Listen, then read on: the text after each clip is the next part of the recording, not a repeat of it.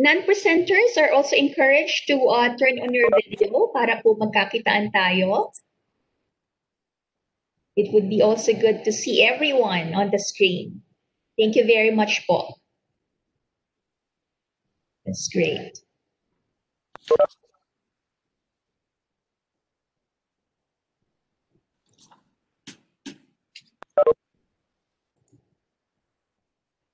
Okay, it's 10 o'clock. I think we are ready to start. Okay, a pleasant morning to everyone. My name is Sheila Siar and I am from uh, the Philippine Institute for Development Studies or PIDS. And welcome to our virtual roundtable discussion this morning on the future science and technology or S&T human resource requirements in the Philippines, which is a joint research project commissioned by DOST's Science Education Institute to PIDS. This project is uh, very timely because we urgently need a comprehensive picture of the country's human resource requirements in S&T to ensure that they are aligned with the demands of the fourth industrial revolution and the new normal. And uh, to formally open this uh, roundtable discussion, may I call on Dr. Renato Solidum Jr., the Undersecretary for S&T Services of the of the DOST. Sir? Thank you very much to Dr. Josette Biyo, the Director of the DOST Science Education Institute, to Dr. Celia M. Reyes, President of the Philippine Institute for Development Studies, to Dr. Jose Ramon T. Albert, Senior Research Fellow and PIDS Research Project Leader, to all our PIDS consultants, to Dr. Danny Lachica, President of the Semiconductor and Electronics Industries in the Philippines Foundation Incorporated, to Dr. Ephraim Metilio, Dean at the Mindanao State University, Iligan Institute of Technology, to Mr. Herwin Salazar, Executive Director of the Senate Economic Planning Office, the Senate of the Philippines, and to all the participants, guests, ladies and gentlemen, good morning.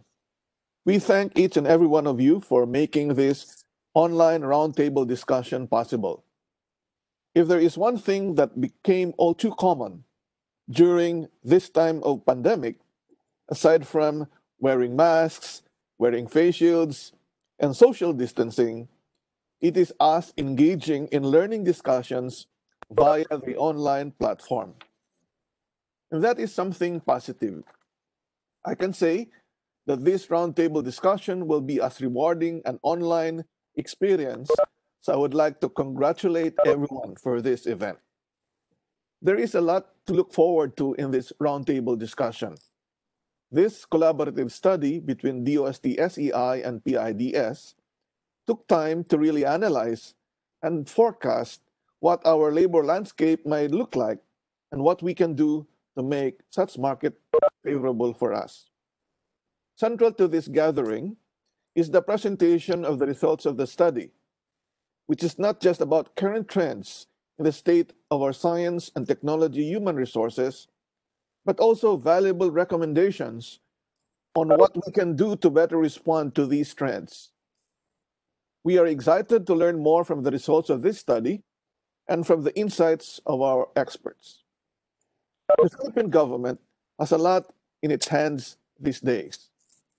As issues beyond this pandemic, like extreme disasters, food, water, and power shortages, rising commodity prices, increasing pressures, pressures on our environment, traffic, rural poverty, and the likes constantly challenge our resolve.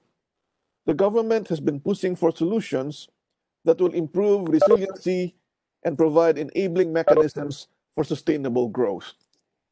We count on industry experts in many aspects to help us find the means and provide wisdom in our responses and in better understanding complexities that will help us to develop long term technology solutions.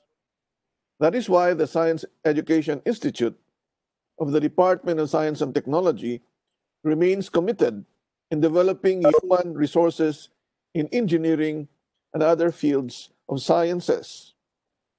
Whatever world we are about to face, producing science and technology workers can never be a bad thing. Through the conduct of this roundtable discussion, we hope to engage our pool of experts in giving us insights as to the outlook of the future, even if this is purely online. Surely, there will be no side talks with colleagues, posters, presentations, and other normal activities in a conference. But if this is the new normal, I'm sure we can adapt and we will find ways to make the same impact, if not more. We hope that our interaction with one another will extend beyond this roundtable discussion. Let us make this session a very fruitful one, and may I remind everyone to listen and ask questions with a bigger picture, our future in mind. Congratulations again to all of us at maraming salamat po at mabuhay po tayong lahat. Thank you very much, Yusek Solidum, for your insightful opening remarks. At this point, may I, may I also call on the president of the PIDS, Dr. Celia Reyes. Thank you, Sheila. Good morning, everyone. Um, and um, also good morning to um, Undersecretary Dr. Renato Solidum Jr. Um, let me also acknowledge some of our other officials who are joining us in today's forum. Um, I think from DOST, we also have Undersecretary for Research and Development, Dr. Rowena um, Guevara. Uh, we also have, of course, our partner um, for this study, um, DOST Science Economic Institute Director, Dr. Josette uh, Biyo, and Deputy Director and Engineer Albert Marino. Um, and also from um, the Engineering Research and Development for Technology um, Project Leader at UP, um, Associate Dean Dr. Geraldo Denoga, and from the Accelerated Science and the Technology Human Resource Development Program National Science Consortium, we have um, department from the Department of Chemistry, Dr. Fabian Dayrit, and also from the National Research Council of the Philippines, we have President Dr. Gregorio Del Pilar and um, Executive Director Dr. Marietta Sumagaysay, um, and we have from the National Academy of Science and Technology, we have Director Luningning Samarita Domingo. And former NAST President and former PIDS Board of Trustees, Dr. William Padolina. And from the Philippine Council for Agriculture, Aquatic and Natural Resources Research and Development, we have Director Dr. Reynaldo Ebora. And from the Philippine Chamber of Commerce and Industry, Chair Mr. Perry Ferrer. And from the Congressional Policy and um, Budget Research Department, House of Representatives, uh, we have Mr. Romel Asuncion. Um, and let me also welcome our other guests from the private sector, academe, and um, government. Um, the COVID 19 pandemic that we're going through right now has emphasized the importance of science and technology in addressing risks that threaten our lives and economies. Around the world, we're looking for technology solutions to detecting the virus, treating infected persons, developing vaccines, etc.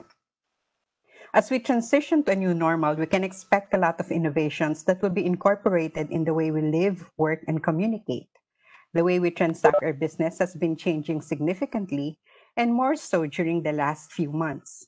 Work from home arrangements has become the norm these days for many of us, and I believe will continue for some of us even after the pandemic. Cashless transactions has increased significantly during the pandemic. And as digital infrastructure further improves and trust in the systems increase, cashless transactions would become the norm too. And DOST, um, not just the OH, has been in the forefront too in the fight against the pandemic.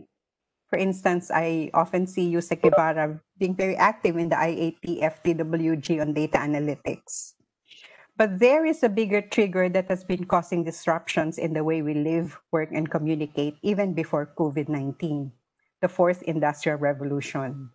In its 2016 report on the future of jobs, employment, skills, and workforce strategy for the fourth revolution, The World Economic Forum has suggested that given the massive disruptions in business models emerging from the increasing use of um, technologies of the fourth industrial revolution, we expect corresponding consequences in the labor market and the nature of work.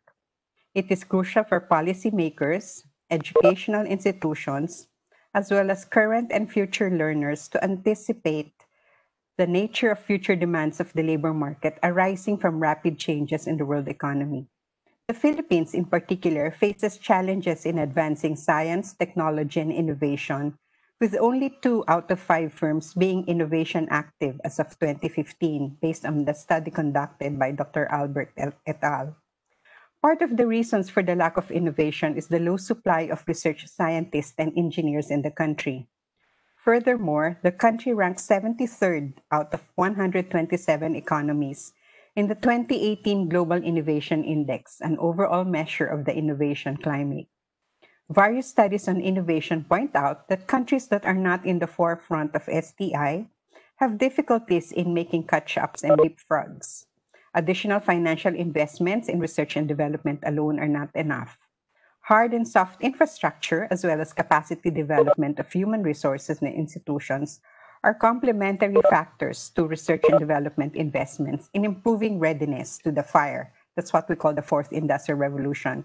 In fact, we had uh, um, our annual, the theme of our annual public policy conference in 2018 was on fire. The government needs to ascertain the actual conditions surrounding the cultivation of science and technology human resources in the country. Local studies conducted on the demands and supply of S&T human resources in the country is limited. Thus, in 2019, the Philippine PIDS was commissioned by the Department of Science and Technology, Science Education Institute, to develop a comprehensive report on the future S&T job requirements in the Philippines to inform policy related to S&T human resource development. Today's presentation on the results and recommendations of the study titled the future S&T human resource requirements in the Philippines, a labor market analysis, will provide a holistic picture of the country's emerging S&T HR requirements and will help identify specific policy recommendations relative to the development of S&T human resources in the country.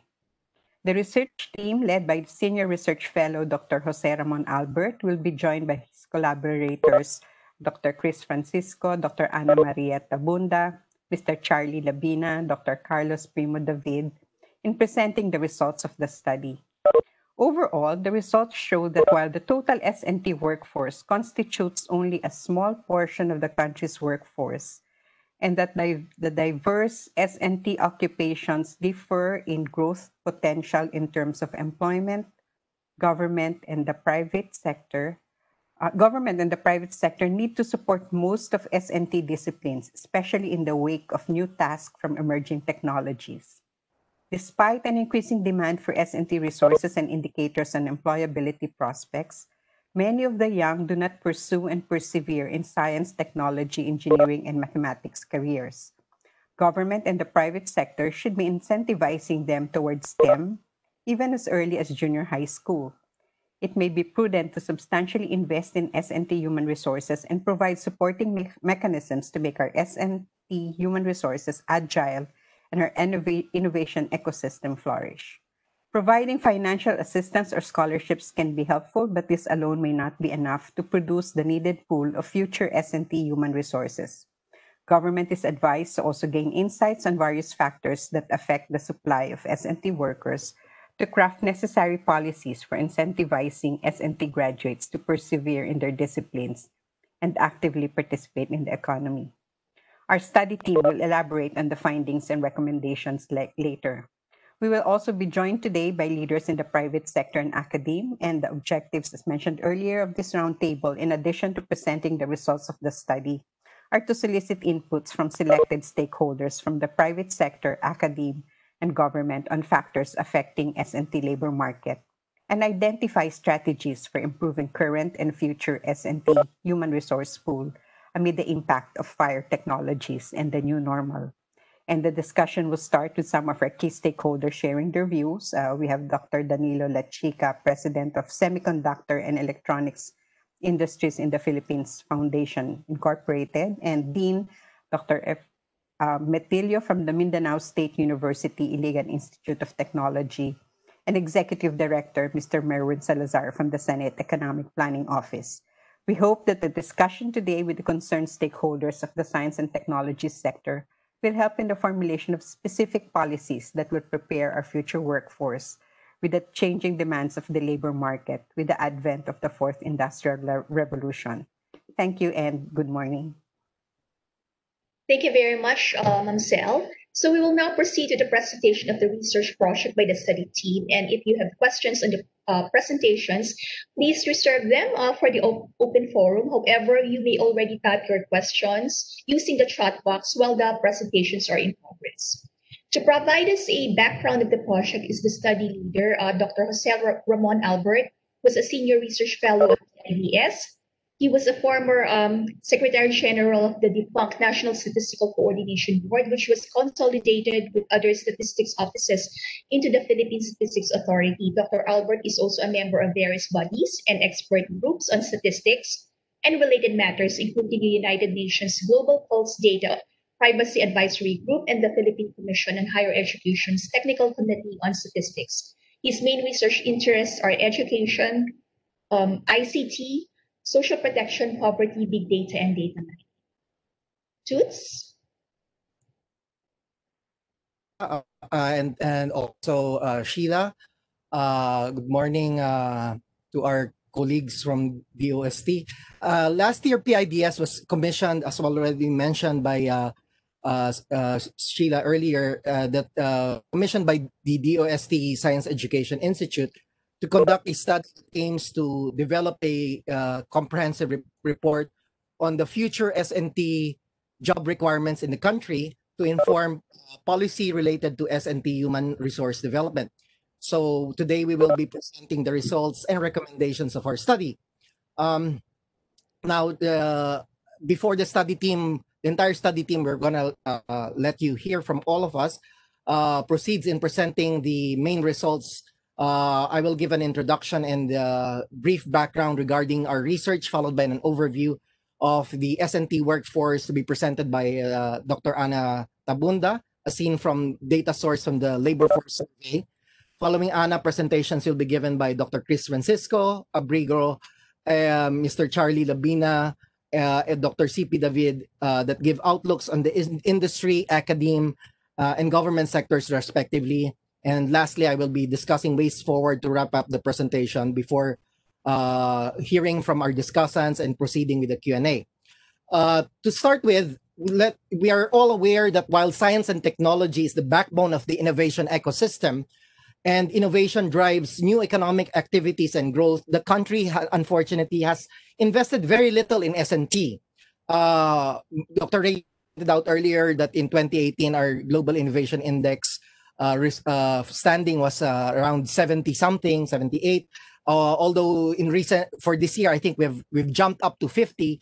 But still, our pool of human resources uh, in S&T has been fairly limited uh, especially when compared with developing countries in East Asia, such as China, Singapore, Malaysia, that are at the frontiers of innovation. I've often pointed out that we have twice as many lawyers than scientists and engineers. With emerging technologies of the fourth industrial revolution, which, uh, as pointed out by Dr. Reyes earlier, uh, here at PIDS, we refer to as FIRE, and disruptions in production and supply chains resulting from the fire the increased globalization of labor markets may actually result in new and different set of demands, opportunities, and challenges across science and technology fields, especially in the next five years, which we have to prepare for and anticipate. Furthermore, both the public and private sectors are retrofitting amid the new normal conditions as we continue to face the challenges posed by the ongoing pandemic.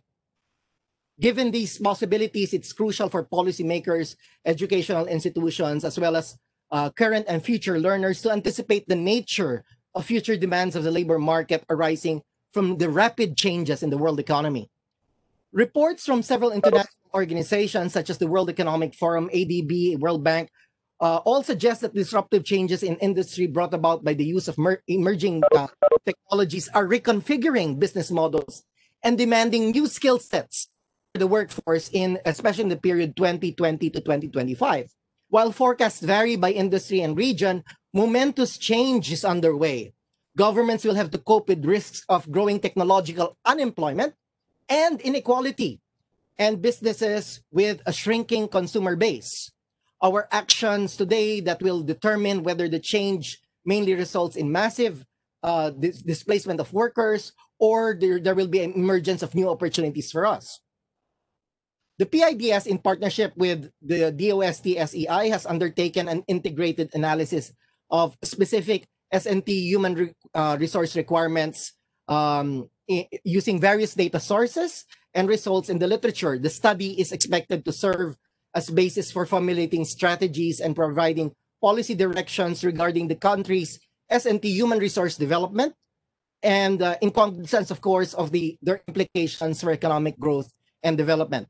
In particular, the study provides a holistic picture of the country's emerging S&T human require, uh, resource requirements and help identify some uh, recommendations and policies and strategies on uh, uh, S&T capacity development, particularly education, especially in the administration of DOST scholarship programs, as well as ensure that we match our capabilities uh, of S&T professionals with the current and future demands of the labor market.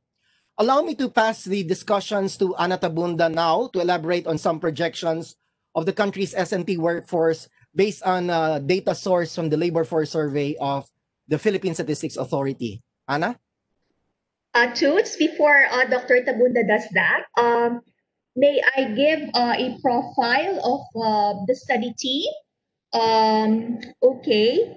So, okay, thank you very much, Toots. So we will hear the presentation of the study findings by the members of the study team. We will hear first from Dr. Ana Maria Tabunda, who is a professor of statistics and former dean of the School of Statistics at the University of the Philippines, Diliman. She also currently serves as the research director of Pulse Asia. Um, to be followed by uh, Dr. Kris Francisco, who is now a research fellow at PIDS.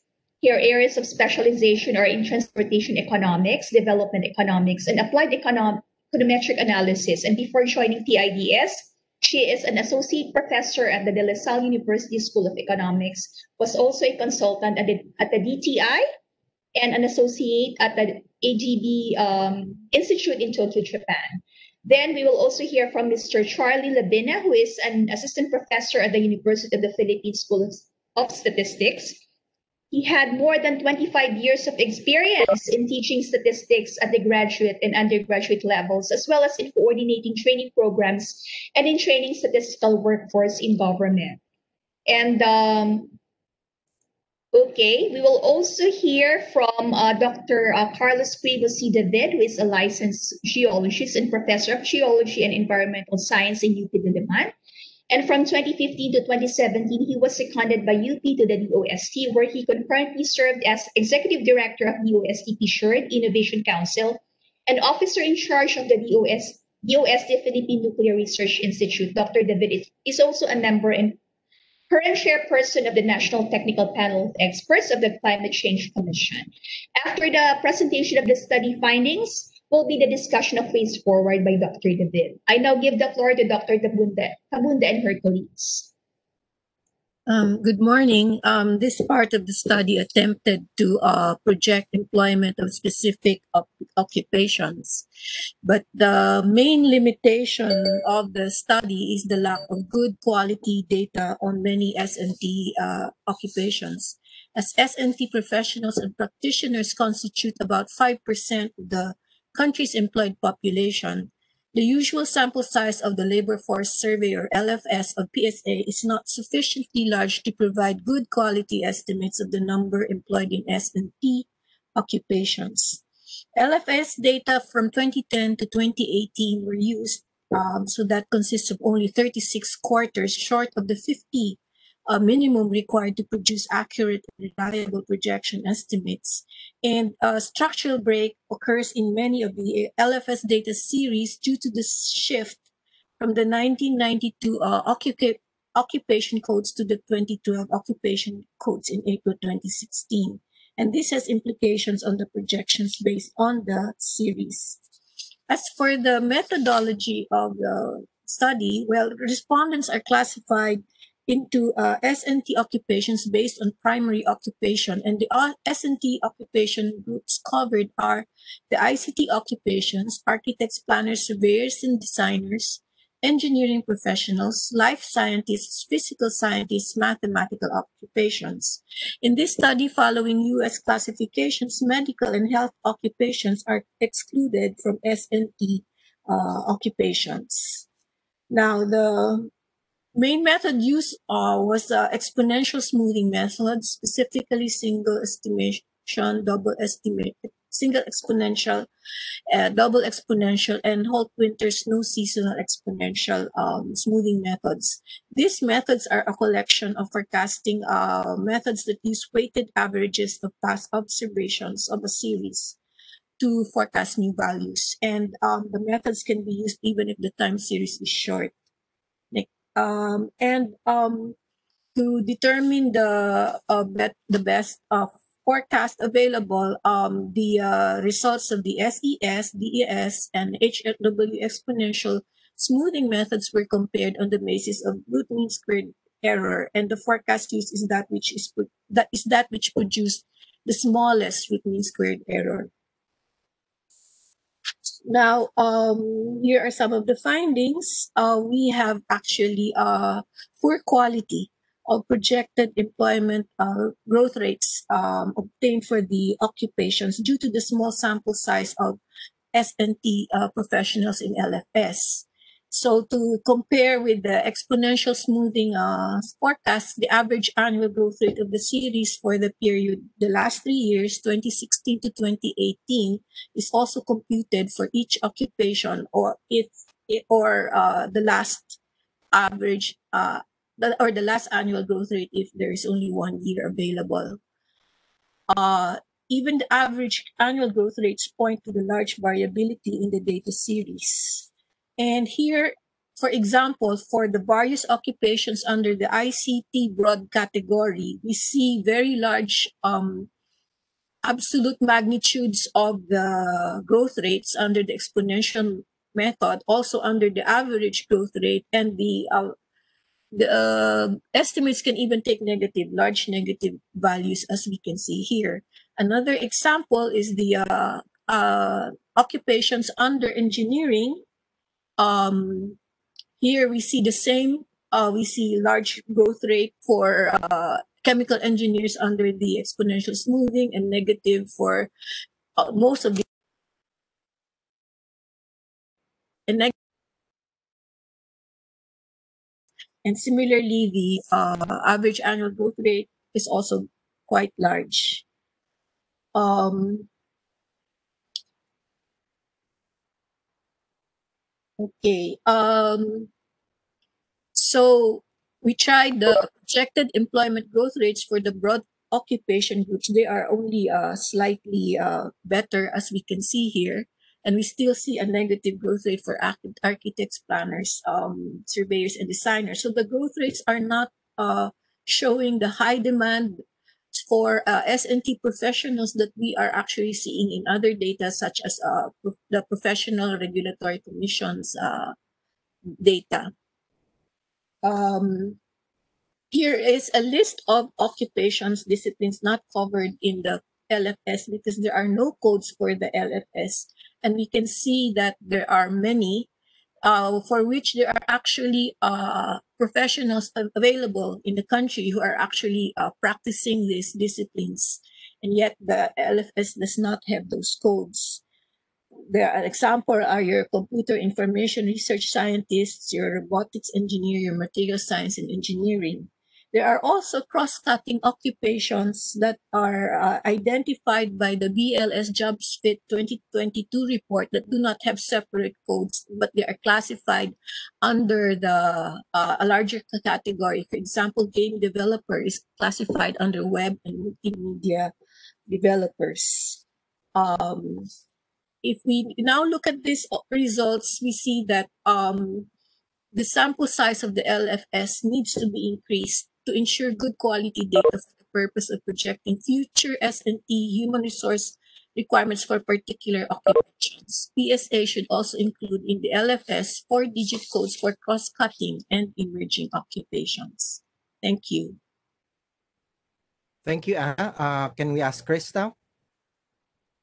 Thank you, Sir Toots. So, uh, for my part, I'm going to be discussing the industry perspective for the future S&T demand.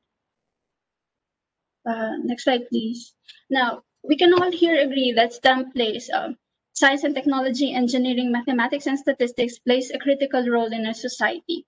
So these fields not only contribute to the creation of knowledge, but they also help in the development of technologies uh, to address national and global issues. However, we have not been paying much attention to these fields. In fact, our uh, public spending on R&D is relatively low compared to other countries, as pointed out by several studies.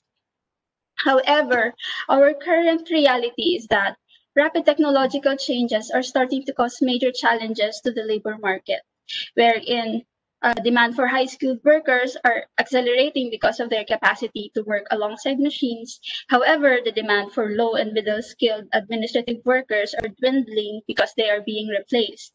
Uh, cross-country overall impacts of technology, of course, they differ, but uh, what we found is that advanced economies are getting more affected by these. Now, the silver lining to this story is that the workers can survive this changing labor market depending on their capacity to adapt and retrain themselves through education. So what we are trying to do in this uh, study is to uh, project or to assess how the demand and supply of STEM workers in the Philippines will change in response to our growing economy. Next slide, please. Okay, so for my part, I use census, the latest census uh, 2015 and 2010.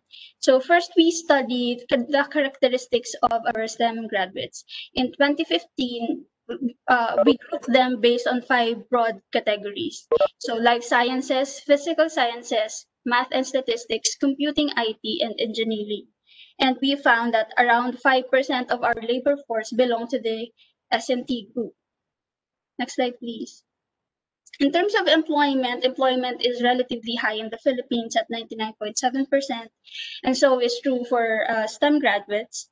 But uh, the labor force participation of these STEM graduates is higher than the national average, is actually 86.6%, suggesting the high demand for them. Uh, we also noticed, though, that uh, female STEM graduates are not pa- parang there are fewer female STEM graduates in the labor force as compared to males kasi it's only 72.5% ang kanilang participation compared to the 92.7% for uh, male STEM graduates. Next slide, please. Now, um, in forecasting the future supply and uh, future supply, what we need to look at are two aspects. No, production rate, how many uh, new STEM workers are being produced, and the survival rate, how many of them are actually staying in the labor force. So this uh, figure gives us the production rate of new STEM workers per age group. So in the x-axis, we have the age groups, and on the y-axis, we have the production rate. We can see two uh, two colors there now.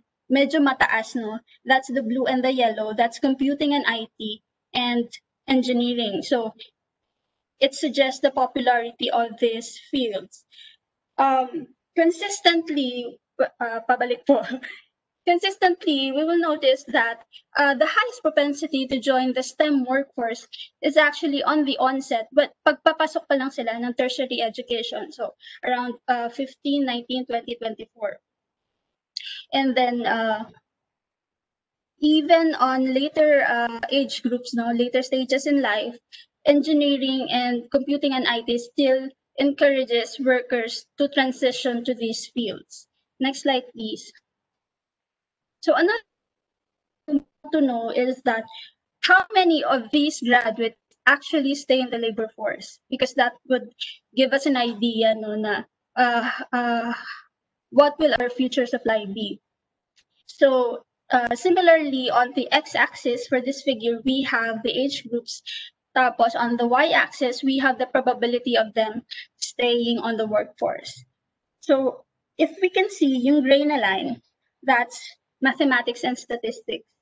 So graduates of mathematics and statistics, they leave the workforce relatively earlier than their peers. So around the age of 25, 29, sila agad sa workforce.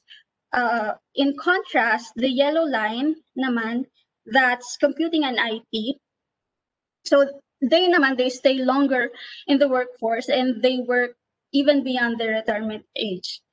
Tapos, other fields, physical sciences, life sciences, engineering, they just follow the ano, normal decay and uh, retire around the age of 55, 59, 60, 65. Next slide, please. So if we combine our information on the production rate and the survival rate, we can come up with a projection of our future supply. So in the future, we can expect that we will have more uh, STEM workers. The biggest growth will, will come from computing IT, saka engineering fields. We noticed though that maybe because of the popularity of computing and IT fields, um, their supply will overtake the supply of engineers. On the demand side naman, uh, we forecasted this using the projected growth of the Philippine economy and worker uh, combining this with our computed worker productivity for the past years. So here we we noticed that dalawa uh, two of the mo most popular most demanded jobs for the future for 2020 and 2025 would be computing IT and engineering. But we can see here that we will need more engineers than workers with computing and IT backgrounds. So if we combine our information for supply and demand, we can come up with this gap. Um, this means that domestically, without considering our options abroad, no international market, we will have a surplus of workers with computing and IT background. Next slide, please. So we also uh, disaggregated our projected demand by industry. And uh, what we notice here is that yung industry that wherein the demand for these workers talaga will come from ay yung ano other services and this constitute yung professional scientific and technical activities administrative support services accommodation and food service activities education human health, um, arts, entertainment, and recreation. So, in currently, you know, less than uh, 8%, less than 10% yung contribution ng other services to the current TVA. But in the future, a lot of the demand for STEM workers will come from this small, ano, small group. Next slide, please. Okay, so there are several lessons that can be gained from this study. First, as uh, we have shown in our production rate uh, figure, uh, in providing scholarship, timing is very important. No? As we have seen, the highest propensity to enter the STEM fields is around the beginning of the tertiary level. So if we have res our resources, we should focus our resources on, on at this point um, it is also important to understand how other factors affect our supply of the STEM workers. For example, they're already in the labor force, pero may nangyayari pa din, kaya nababawasan tayo ng STEM workers. Um, questions that need answer or we need to look into things such as, bakit nga ba earlier nag-exit yung uh, graduates of maths and statistics? Or why are fewer fem uh, STEM graduates na females entering the labor force as compared with males? And the final point that I want to raise here is that, um, of course, we know that providing scholarship is important. However, at the same time, we also need to boost the demand for these scholarships. No, and the way that we can do that is to uh, make both parents and children understand the role and importance of the STEM workforce in our society. So how do we do that? In the early 90s and the, uh, early 2000s, I remember, nung bata kami, we have these uh, shows no, on TV, Sineskwela and Math-Tinik. So these shows were great. Um, it made us curious. It made us want to be scientists, astronauts, mathematicians. However, we need to adapt to the current times. Next slide, please. So, uh, children and housewives today, they're no longer on TV. A lot of them are, ano, uh, always on YouTube or uh, social media. And the idea that I'm floating here is that why don't we use those platforms para dun sa ating ano, para, pa, to market our STEM STEM programs.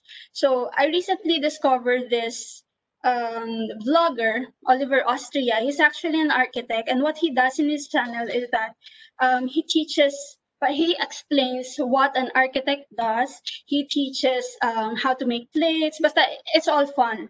It makes you, ano, it makes you want to try architecture. So that's the idea. Na, maybe if we want to market STEM uh, STEM fields, maybe we can make use of these platforms and ano um partner with these vloggers, no? Just just to make uh, children more curious about uh, about our occupations, S&T occupations, and maybe through this we can encourage them to join the workforce later on in their lives. Thank you. Thanks, Kris. Um, can we have Charlie now?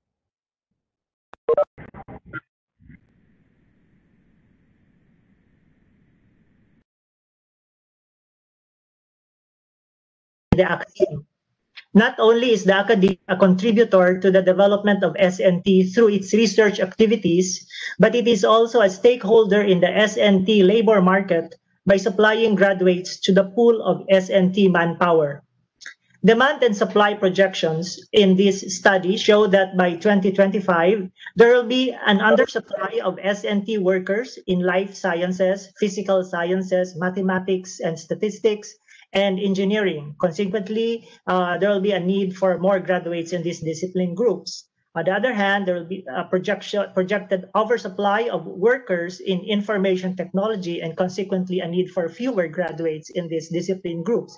Hence, it is reasonable for government to plan for more S&T graduates for most of the uh, disciplines. While graduates in S&T are projected in this study to be generally increasing in the next five years, there are factors that have impact on attainment of this projected trend. Increasing the enrollment and number of graduates in S&T requires the development of student interest and capability in S&T and the reduction in the number of S&T students failing to graduate on time. Also, producing more graduates would not be enough to meet the projected undersupply of manpower in most S&T disciplines. We also need to consider the quality of education. Ensuring the quality of S&T education means working for improvement in teaching quality and school facilities and ensuring sufficient qualified faculty and relevant courses and degree programs. In the following slides, uh, we will be listing several questions or issues regarding the production of more S&T graduates and the quality of S&T education. Answers to these questions or issues are necessary inputs to the crafting of policies that would caution the country's economy against adverse effects of FIRe. On the in, on increasing the S&T enrollment and producing more S&T graduates, we have the following questions or issues. First, how effective is the K-12 curriculum in providing students with S&T knowledge and skills? And second, how effective are science sections and science schools in producing S&T students? Are there enough science sections and science schools in the country? The K-12 curriculum, science schools, and uh, science sections are all means of exposing students to S&T, thereby developing their interest and of providing them with capability in S&T. If these three avenues are effective in developing the child's interest and capability in S&T, plus the influence of environment, including perceived income from S&T jobs, then the chance of the child enrolling in an SNT degree program is higher. The third question is, how effective are the following in reducing percentage of S&T students who do not graduate on time, entrance and IQ exams, scholarships and financial assistance, counseling and healthcare for students? And the fourth question is, what methods are used to match students with degree programs and how effective are they in reducing the percentage of students who fail to graduate on time? Answers to these questions are important because the number of students earning their S&T degree on time directly affects the number of new graduates entering the S&T workforce. on uh, quality of education. An indicator of the quality of education is the passing rate in the in the PRC examinations. Uh, PRC data for the period 2012 to 2016 shows that the average percent passing in the PRC examinations is, lower than 50% in the following degree programs. In engineering and technology group, it's uh, marine engineering, agricultural engineering, civil engineering, electronics engineering, and geodetic engineering. In IT-related disciplines, library science, in, in medical and allied disciplines, occupational therapy, radiologic technology, mid midwifery, nursing, respiratory therapy, and veter veterinary medicine. And in natural science, it's geology, which has a lower than 50% passing rate on the average. Since in this study, engineering and technology is already projected to have an undersupply of manpower in 2025, the poor performance of some engineering and technology degree programs will aggravate this condition in the future. Now we go to the uh, following questions or issues on quality of education. One, do schools meet standards on school fa facilities? School facilities uh, includes uh, such uh, as libraries, laboratories, uh, project working areas, and classrooms. Uh, it is important that these facilities are complete, match the needs of the degree programs, are updated, well equipped, and are used by students. Uh, two, number two, what is the impact of faculty development through PhD scholarship and increased pay, benefits, and incentives on faculty retention? we will definitely need more S&T faculty in order to produce more graduates. But if the recent decreasing trend in the overall number of faculty as shown by CHED data continues, then this study forecasts a lack of S&T teachers by 2022 uh, school year. There are uh, three uh, are the, are the current S&T degree programs relevant? There are two approaches used currently to determine the relevance of S&T degree programs. One, tracer studies, and the second is the approach used by Quis, Quismorio et al. Uh, of PIDS in their uh, research study titled Assessing the Alignment of Philippine Higher Education with Emerging Demands for Data Science and Analytics Workforce, conducted in 2019 there should be a regular assessment of the relevance of existing S&T degree programs so that any deficiency could be corrected, making the country better prepared in coping with the disruptions brought by FIRe. Answers to the previously discussed questions and issues are important to the government's overall policy and program that would cushion the expected shocks from FIRe. Studies must be conducted to provide answers to those questions and issues. DepEd, CHED, DOST, and PIDS should collaborate and lead in the conduct of these studies. The partnership among these agencies should be formalized through MOAs or similar instruments that would provide for sharing of resources and data, among others. In the course of their functions, these agencies collect data that are useful in the studies to be conducted. The, the agencies must always ensure that the data they collect are correct, complete, and correctly encoded quality data is necessary in crafting policies and developing programs. Thank you. Thank you, Charlie. Can we have CP now? Good morning, everyone. The next series of slides look into the S&T workforce in government. I looked at the DBM data on plantilla positions and the annual reported data on filled and vacant positions.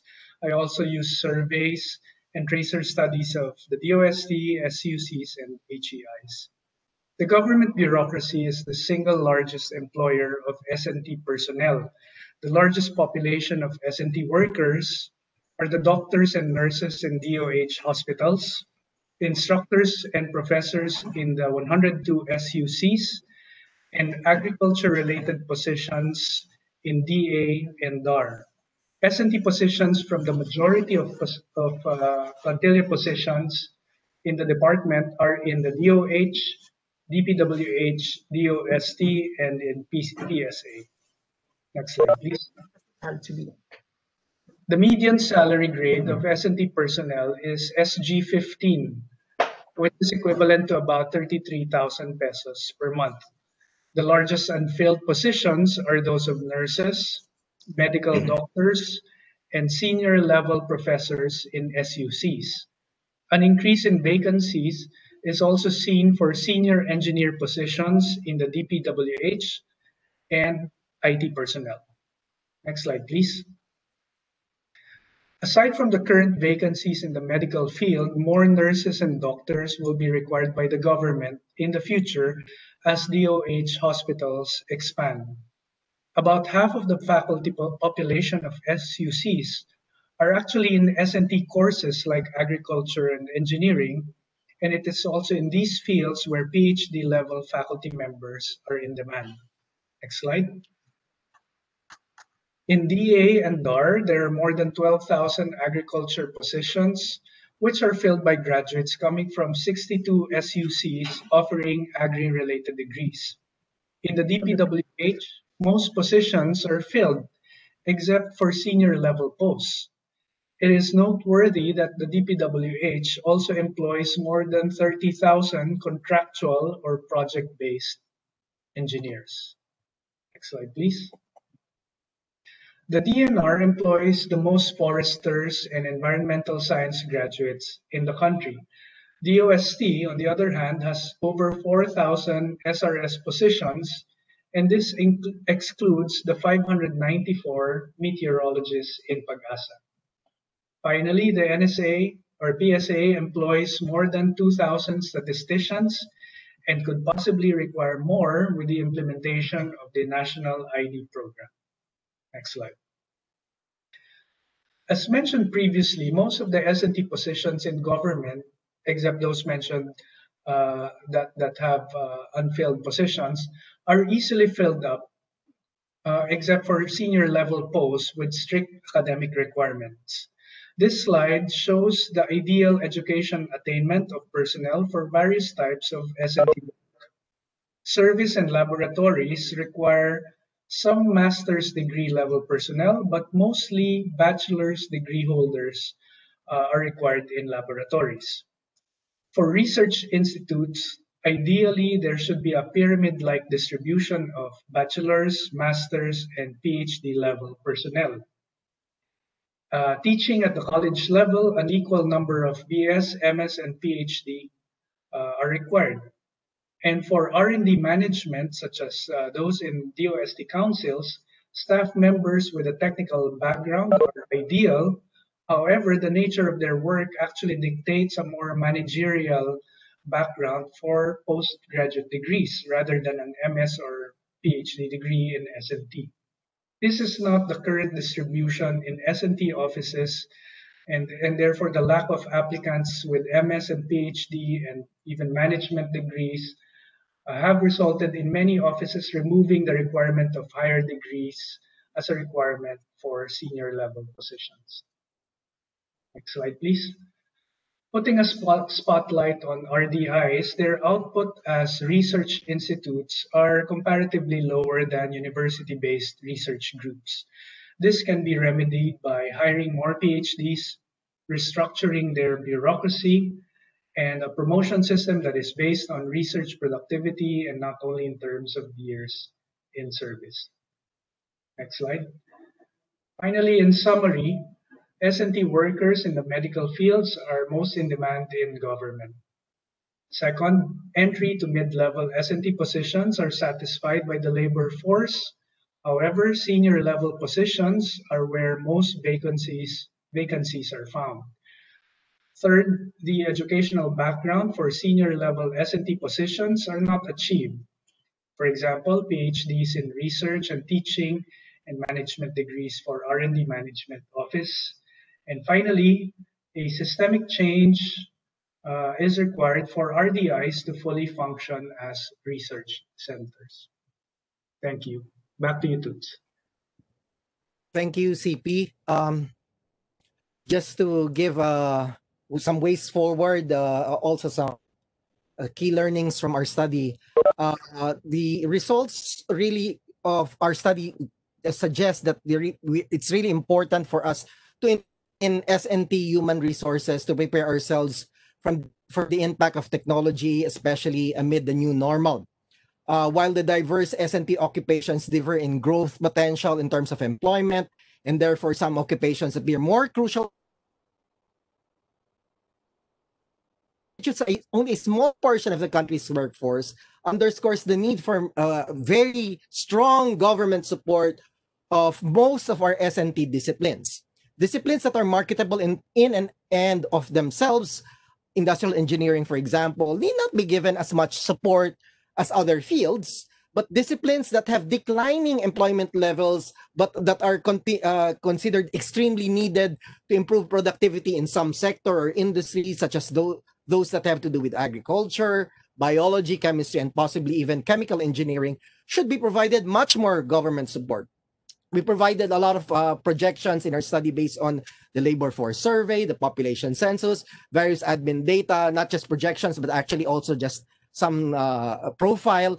And uh, this uh, uh, the great need of our economy for S&T workers to support uh, its projected growth in the next few years would require a massive boost in support for current and future S&T and this cannot be attained by the government alone but should be a joint undertaking that also requires a you know a thinking out of the box uh, involving the private sector as well as the academic institutions. There's also a need to encourage our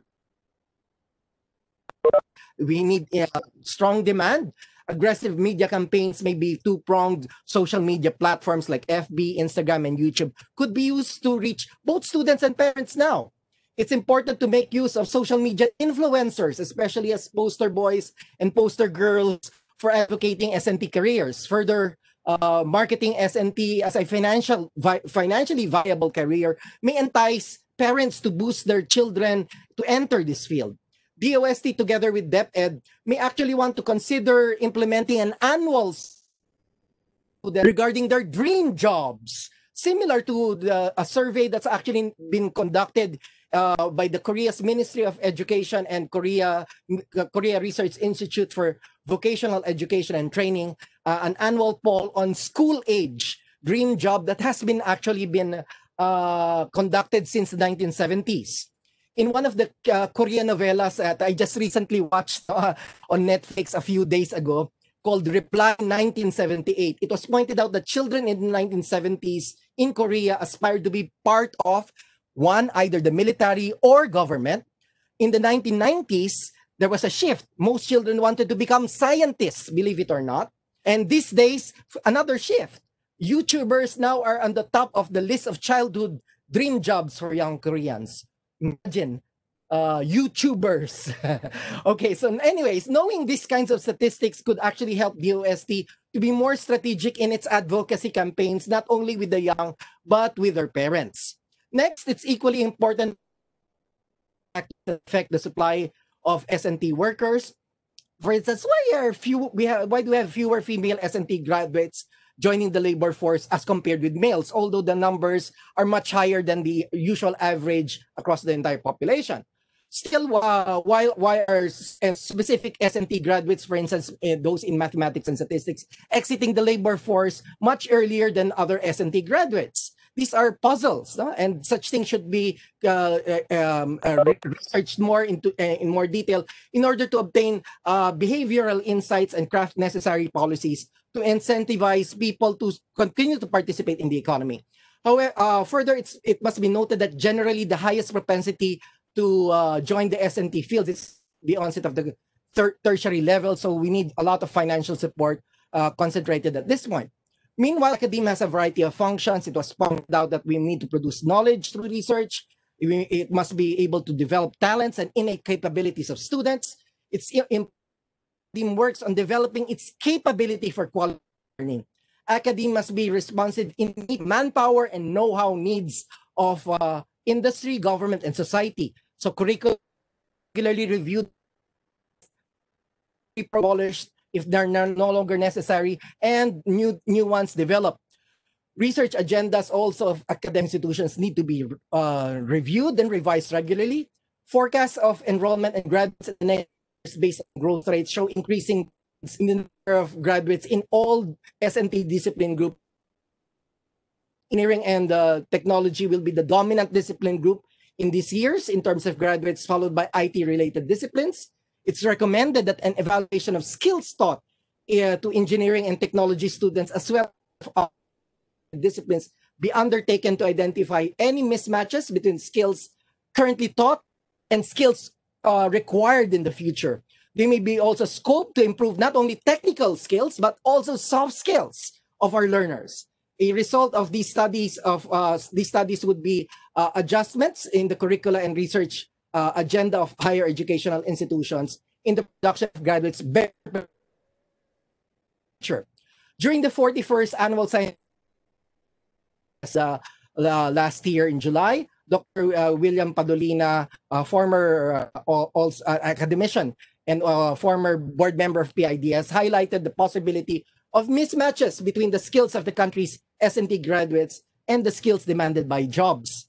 The country may soon be affected by developments in emerging FIRe technologies. There is therefore a need to assess degree programs and research agendas of higher educational institutions on their ability and capacity to cope with technological developments and ensure that we have a set of future ready S&T human resources that will develop a niche for us and bring us more prosperity.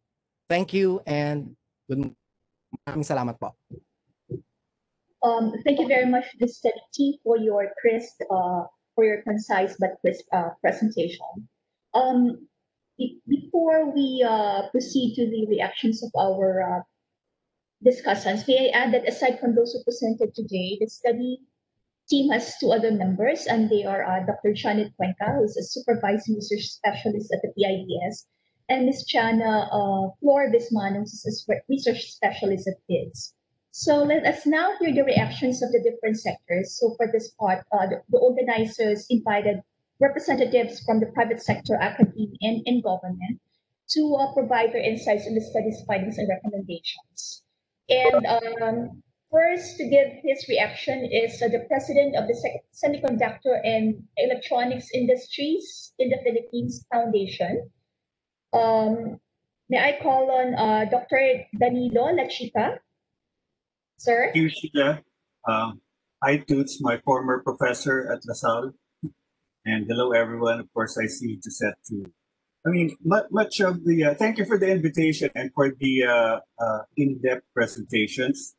Um, much of the uh, results, the findings, I really can't disagree with. In fact, uh, just to note some of the comments, for example, from Ms. Tabunda, uh, she noted that robotics uh, was part of what you look at. And if anything else, the way the industry is moving today, and I'm talking about the electronics industry, um, in, at the onset of COVID, and of course, in the interest of efficiency and quality control, automation would be a key success factors for many of the uh, factories. So robotics uh, essentially would be, uh, I guess, uh, going to be in high demand, higher demand.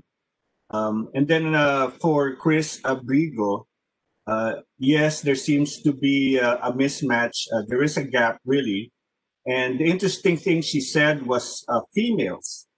there are fewer, fewer females joining the workforce. It's ironic because in our industry, 80% of our workers are females. But unfortunately, well, maybe one of the reasons why females are in short supply for the industry is because perhaps uh, the IT industry, the BPO industry is sexier. And, uh, you know, uh, we could use a lot more females, especially the science and technology area. Now, um, when I say 80% of the females, that's over 300,000 workers that we have, female workers. Now, traditionally, uh, we would be hiring high school graduates. Uh, of course, science and technology, the STEM graduates would be uh, quite useful, the output of the STEM program. But uh, our constraints really are we cannot hire uh, people under 18 years old. But as I've mentioned earlier, the evolution of the industry, the the focus on the focus on artificial intelligence, the focus on automation, we would need to upgrade, upskill our workers. And needless to say, uh, when I uh, upskilling our workers would require more of the female workers uh, in the industry that are going to be uh, required. Now, uh, in what areas? Well, Charlie also mentioned an oversupply in IT and undersupply in science and technology.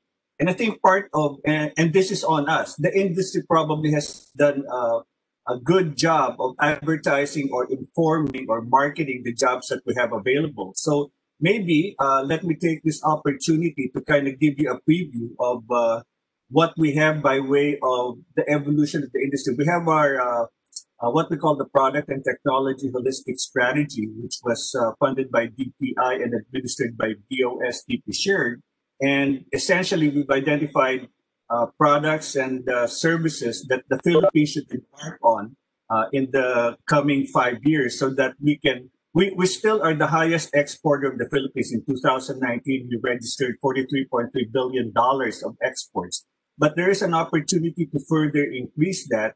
And for example, 70% of that export is in uh, semiconductors. Now, unfortunately, we cannot uh, move, uh, you know, down the value chain because we, we can't have a commercially uh, viable wafer fab because of the high power cost and uh, and the poor quality. However, we can move the value chain in terms of IC design. So what we're doing right now as part of that roadmap is to uh, institute measures to increase our capacity, uh, human capacity in terms of supporting a new industry in IC design. So what will that involve?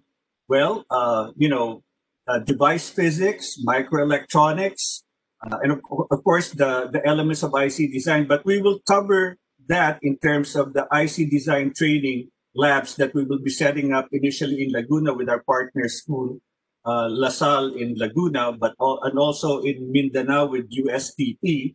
But the problem is to be able to have an understanding of IC design, you have to have solid base in microelectronics and device physics. So those are probably the expansion areas. Now, as far as the other 30% of our exports, we've identified um, in different sectors. For example, uh, again, going back to robotics, uh, new products that can be made in the Philippines would be cobots, uh, collaborative robots, right?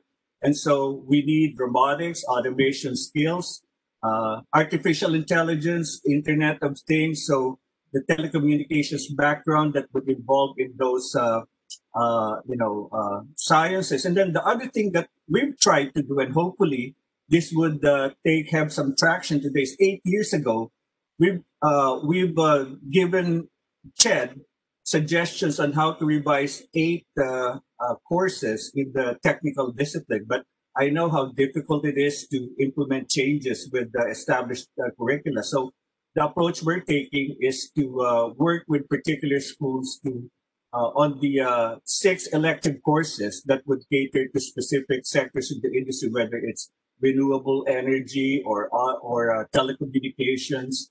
Uh, and so those are the initiatives that we're doing. And oh, by the way, I would like to mention that unlike, say, for example, the power industry or other industries, we our industry doesn't require PRC licenses unless you're signing uh, uh, plans and drawings for mechanical and electrical uh, fields, right? But the process engineers, the chemists, we don't need PRC license. All we need is a solid background in the engineering uh, courses and skills that I've uh, mentioned. Thank you very much.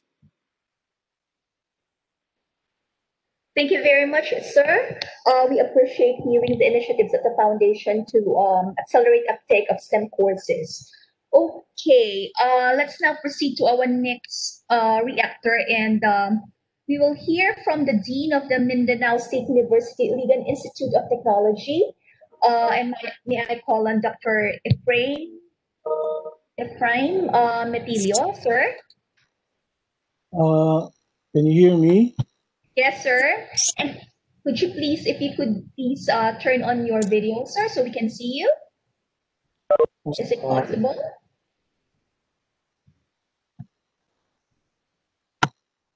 Hmm.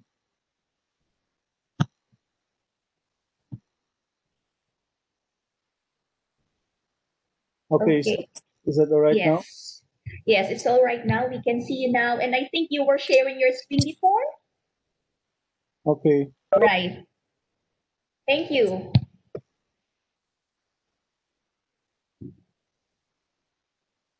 okay.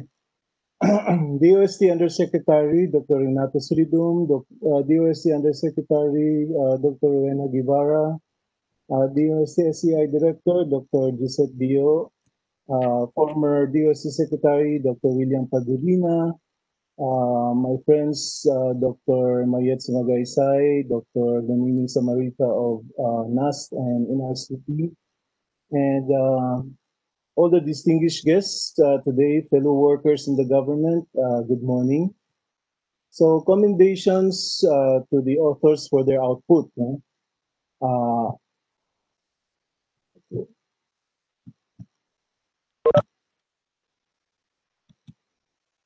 So uh, the report basically highlights the three roles of the academe, and this uh, was also mentioned several times by the authors.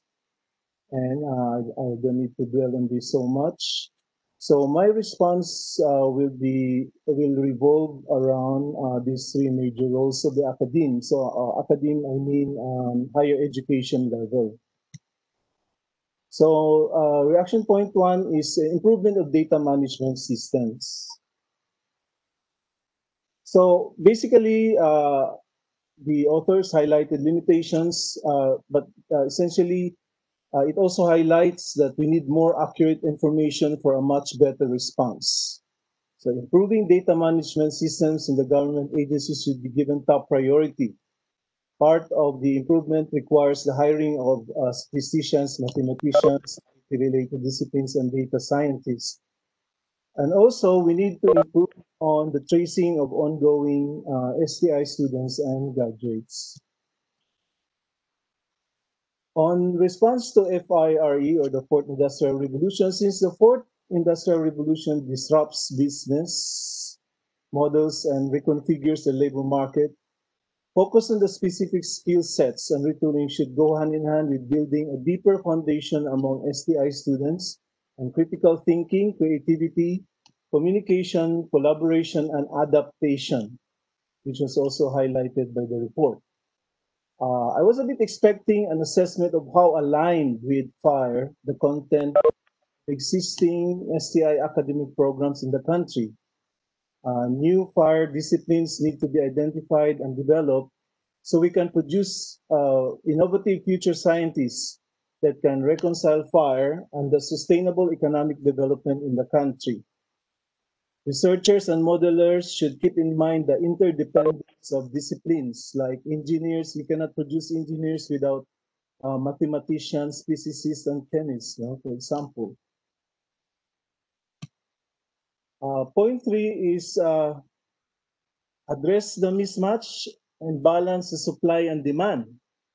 So to do this, uh, academe needs to adopt just my opinion, my suggestion, uh, we need to adopt the German Humboldtian framework, know, where government and private sectors identify sustainable economy boosting industries. Uh, my, my bias is on forest resources and the blue economy, and create a demand for STI workers who will be educated and trained uh, with partner universities. CHED uh, well, the Commission of Higher um, Education needs to regulate the supply side while government and private sectors increase the demand side. Uh, point four is on governance and practices. As also already mentioned by the authors, further, we need to further increase investments in STI research. Now We're lagging behind in Southeast Asia, even in Southeast Asia more investment on basic research to develop more emerging technologies. And as already mentioned by the authors, academia needs to continuously revise and make programs adaptive. But uh, recently, CHED ordered, uh, issued a CMO that graduate programs should put premium on research and publication, even at the master's level. So we also need to work harder on changing stereotypes and the reputation that STI courses are difficult. Now, the UST IEC team, the academe, and all sectors should continue to promote that it is fun to do science and technology courses, and uh, already mentioned by authors to make use of the social media. And my uh, last uh, point uh, is the impact of COVID-19 should also be considered in forecasting or modeling. Well, this is quite unprecedented. I think the authors uh, had were, were prepared on this. No, uh, the, their study was well before the pandemic. So the main negative impact, uh, as we felt in our institution now, is reduction in enrollment. no? Although in IAT, uh, the reduction is 5%, more or less. Uh, and due to this is due to the drastic shift to online learning, which tends also to exclude poor students who cannot afford to pay for gadget and connectivity. A positive uh, impact I consider positive because uh, it opens some new avenues. For example, uh, I, I saw on uh, uh, ABS-CBN news channel the uh, DOST Undersecretary uh, Guevara mentioning about uh, a proposal to establish a Virology Institute of the Philippines or VIP. So I, I, I believe that the VIP and online mode of education should create demand for STI graduates of emerging technologies already enumerated by the authors and classical sciences like biology, mathematics, physics, chemistry. So finally, uh, well, please allow me to end with a quote from the columnist Shaira Panela, who wrote that uh, Filipino astrophysicist Reina Reyes said that scientists are like radioactive particles. If you put them together, you get critical mass, and that's when things start happening. Thank you. Thank you very much, Dr. Metillo. Okay, and for our last uh, reactor, uh, we have uh, this Executive Director of the Senate Economic Planning Office, the Senate of the Philippines, uh, Mr. Merwin Salazar.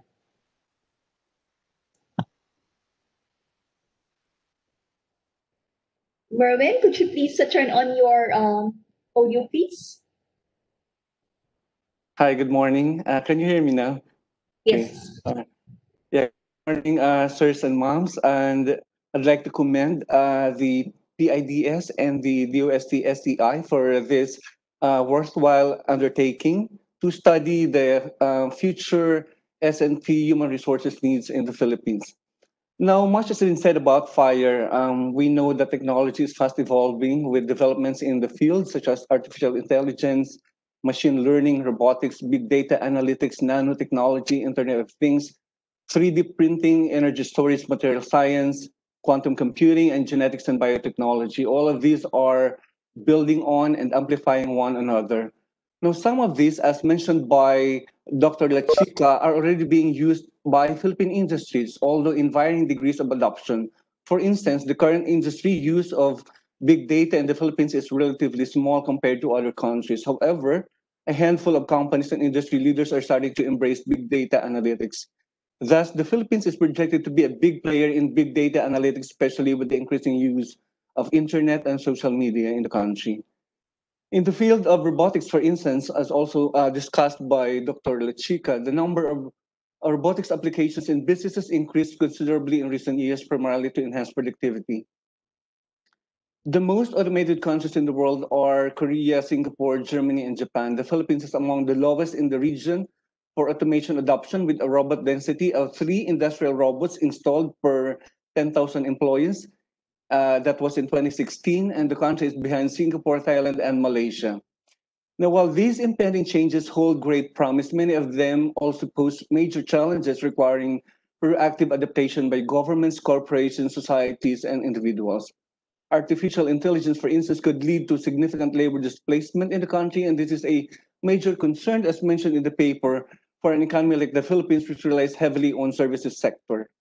Indeed, all industries, in all across all, all indus- industries, there is clear evidence that the technologies that underpin the fort, the FIRe, aside from shaping the future, are having a major impact on business, government, and people. That is why, if we want to be able to adapt to the fast-changing technology, we must not just rely on one sector, like the private sector or the government or the academe. This will require a multi-stakeholder approach, cooperation, and coordination. In the future, technological innovation will bring long-term gains in efficiency and productivity. Transportation and communication costs will drop, logistics and global supply chains will become more effective, and the cost of trade will diminish, all of which will open new markets and drive economic growth. The FIRe also has potential to raise global incomes and improve the quality of life for populations around the world. Technology has made possible new products and services that increase the efficiency and pleasure of our personal lives. Ordering a cab, booking a flight, buying a product, making a payment, listening to music, watching a film, playing a game, any of these can now be done remotely. However, FIRe could also yield greater inequality, particularly in its potential to disrupt labor markets. As automation substitutes for labor across the entire economy, the net displacement of workers by machines might exacerbate the gap between returns to capital and returns to labor. On the other hand, it's also possible that the displacement of workers by technology will, in aggregate, result in a net increase in safe and rewarding jobs. Now, um, over the next decade or two, around 56% of all employment in ASEAN in the ASEAN 5 is at high risk of displacement due to technology. The industries with high capacity for automation are hotels, restaurants, wholesale and retail trade, construction and manufacturing, while industries with low automation risk include education and training, as well as human health and social work. The high-risk occupations in the Philippines are shop and salespersons and demonstrators who number about 2.2 million workers. Jobs resistant to computerization involve extensive, non-routine, abstract tasks that require judgment, problem solving, intuition, persuasion, and creativity. Now, um, in general, the main task of the government is to support S&T disciplines and to create a conducive environment for cultivating and securing S&T in the country. It can do so by enacting policies and providing the necessary budgetary support. Now, both houses of Congress have already passed important legislations related to reducing the cost of doing business, setting the regulatory framework for competition to prosper, and improving trade, investment, and capital market environments in the country. Now, some of the laws that were enacted to foster innovation and support S&T disciplines were one is uh, RA 1936, or the strengthening the governance and defining the scope of the Philippine Science High School system, which uh, establishes one um, Philippine Science High School campus in each of the administrative regions of the country. We also have RA 10931, or the Universal Access to Quality Tertiary Education Act, which uh, provides free tuition and miscellaneous, miscellaneous fees in state universities and colleges. We also have RA 2067, um, the act to integrate, coordinate, and intensify scientific and technological research and development in the country, wherein scholarships are awarded to poor, talented, and deserving students who belong to families whose socioeconomic status do not exceed the set of values of certain indicators. We also have RA 7687, or the Scholarships Act, which provides scholarships, slots to poor but deserving students whose families' annual gross income do not exceed the poverty threshold limit. The scholars must be must pursue a course in the field of science, mathematics, and engineering, leading to a bachelor science degree. We also have RA 10612, or the Fast Track Science and Technology Scholarships Act, which aims to strengthen the country's science and technology education by fast tracking graduates in the sciences, mathematics, and engineering who shall teach science and mathematics in secondary schools throughout the country. We also have RA 11293, or the Philippine Innovation Act, which was recently signed into law last April 2019. The, the law mandates the creation of the National Innovation Council that will steer the whole of government coordination and collaboration and to remove the frag fragmentation in the country's innovation and governance. We also have RA 11337, or the Innovative Startup, Startup Act, uh, which creates the Philippine Startup Development Program, set to offer progress, benefits, and incentives for both startups and enablers. We also have 11035, or the Balik Scientist Act, which gives more incentives to returning Filipino experts, scientists, inventors, and engineers who would share their expertise in the country. The aforementioned laws may not be sufficient, but they can be considered as ample steps in addressing some of the issues that we face today and can pre prepare us in facing the challenges in the future brought about by the FIRe. Certainly, more needs to be done in the coming months. We also have uh, pending bills right now in the Senate. Uh, for instance, we have the Science for Change program, which aims to achieve a high standard of science and technology in order to contribute to the development of the economy and society and to the improvement of the welfare of the nation in general. We also have a sci Computer Science Act um, bill which uh, designs and details the K-12 program, uh, a reformulation of the K-12 program to include computer science, computer literacy, and information and communication technology as part of the basic subjects offered to all levels beginning kinder. We also have a nuclear science and nuclear engineering scholarship uh, bill, um, which aims to create uh, a national scholarship program for studies in nuclear science and nuclear engineering. Then we also have Information and Communication Technology Transfer Bill, which establishes regional centers of excellence for ICT in all provinces of the Philippines. Now, um, let me give uh, five specific comments to the presentation. Um, for instance, on the need for appropriate quality and uh, quality data, this is not only apply for the S&T sector, but for all sectors in the country. I suggest revisiting the multi-agency body under the Philippine Statistical System to making it to making it a multi-sectoral task force that would involve other stakeholders outside the government. It periodically identifies data needs of the government um, on both primary and secondary data. I also want to stress the point that the identification of data needs has to be strongly linked to the monitoring and evaluation of policies, programs, projects, and activities in government. This also calls for the immediate establishment of an M&E system in every agency of government and the implementation of such. This should really be given time, budget, and priority by the government now. I couldn't agree more to the recommendations made under the paper regarding the improvements that need to be done under the labor force survey. Now, on the future of S&T demand from the industry perspective, uh, industry demand for S&T skilled and professional workers would depend on the rate of their adaptation to the changes in technology brought about by the FIRe, as well as the demand for the goods and services that are the products of FIRe.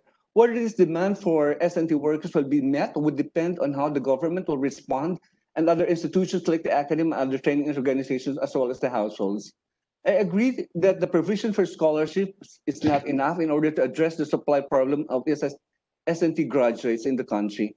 It requires a community-driven approach to, in order to address this issue on increasing the number of S&T human resources, as has been um, uh, expounded by Dr. Albert earlier on. Um, but having said that, may I know what variables were considered in estimating the future demand and supply of S&T workers?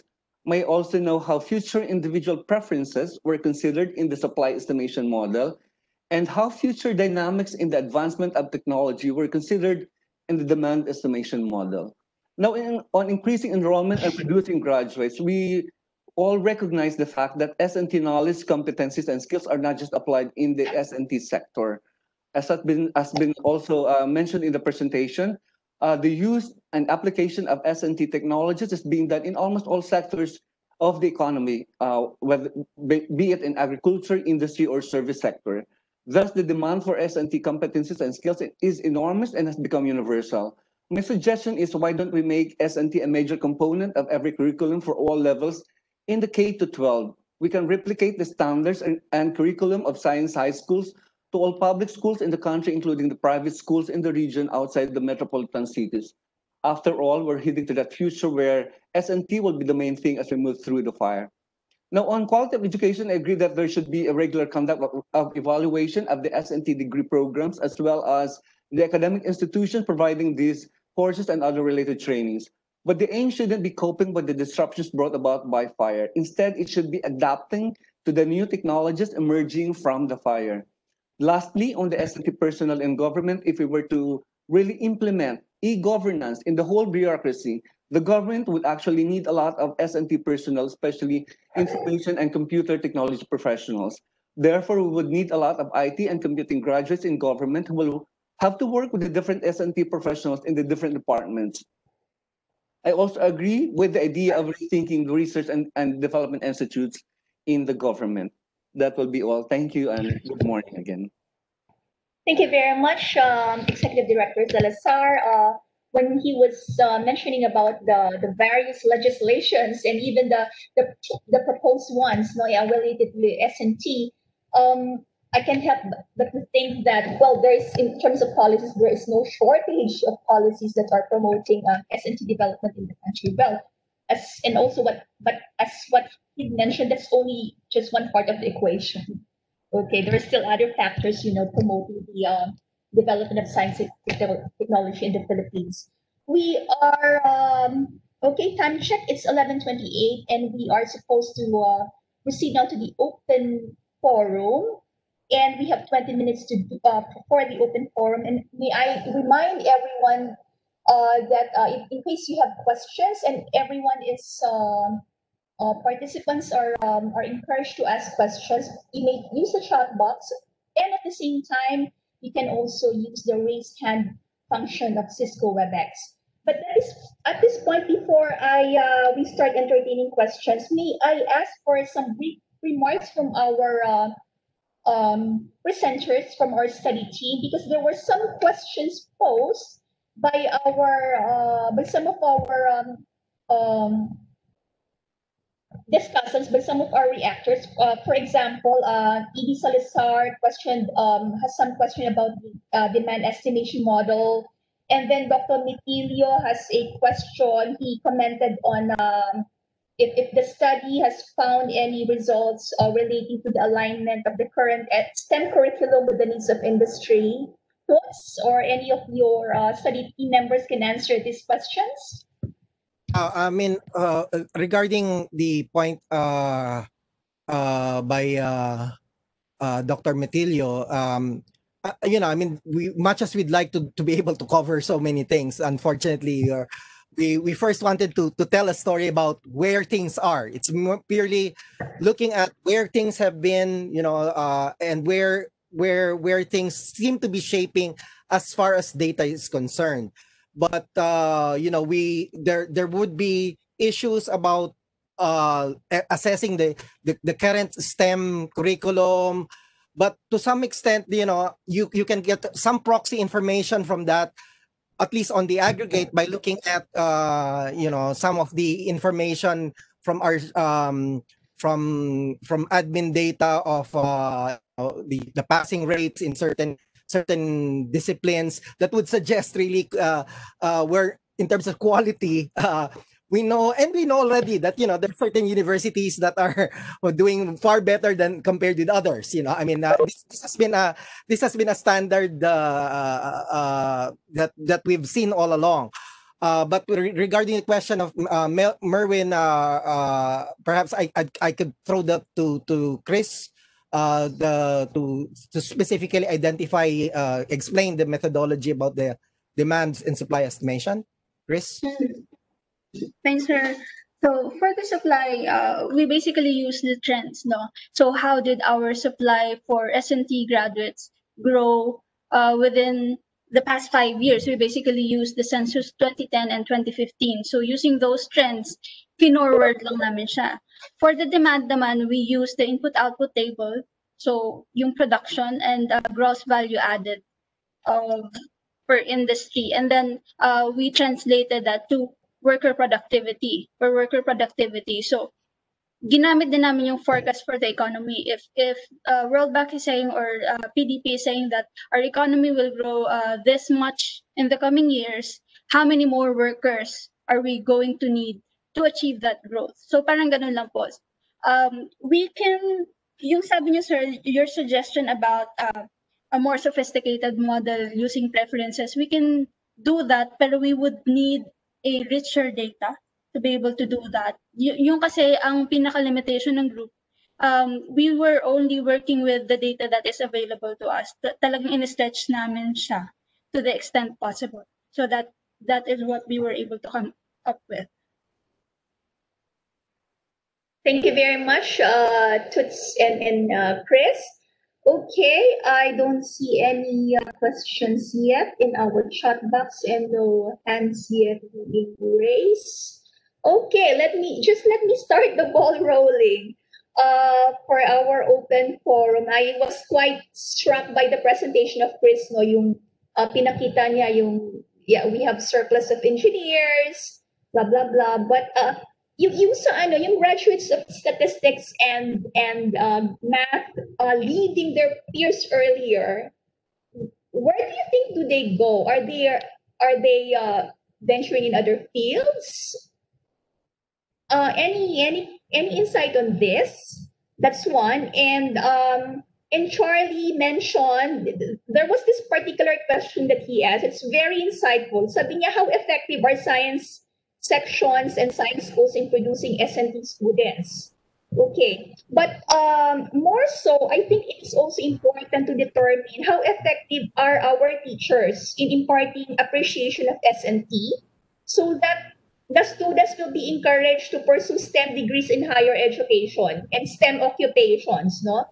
Um, kasi if you will recall, uh, towards the Bernido couple, the, the physicists, no, Christopher and Maria Victoria Bernido, they introduced this innovative teaching framework to um, optimize student academic for performance despite you know existing socioeconomic limitations faced by the Philippine education system and and their that innovative model showed no it was it was uh, successful in the sense that uh, those who took the program showed exhibited or demonstrated exemplary uh, performance in standardized standardized tests So, what are your thoughts on this? Kasi importante rin yun eh na of course, hindi lang yung hindi, lang when it comes to policies, etc. But we should in, in, hindi lang in terms of making sure that the curriculum is suited to the needs of industry, but also making sure that the that those who are teaching science themselves, no, the the, the teachers, no, are are really have that uh, capability and also have that you know, yung yung yung uh, yung ganung what um uh, skill to motivate also their students so that you know they, they will appreciate science S&T more.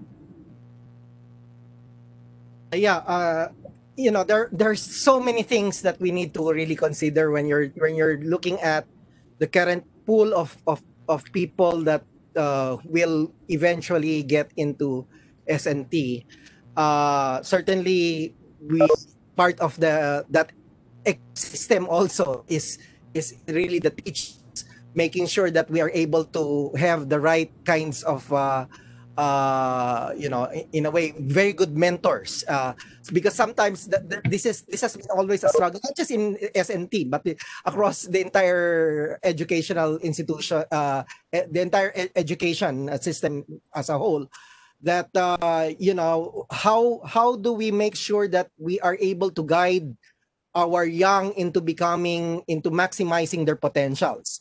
Uh, unfortunately you know those kinds of things are are partly soft skills too. I mean and these are these are these are partly you know um, personality oriented so the question is well in the in educational institutions are are we able to encourage uh, our current sets of of uh, teachers to become better teachers? I mean to what extent are we really doing that?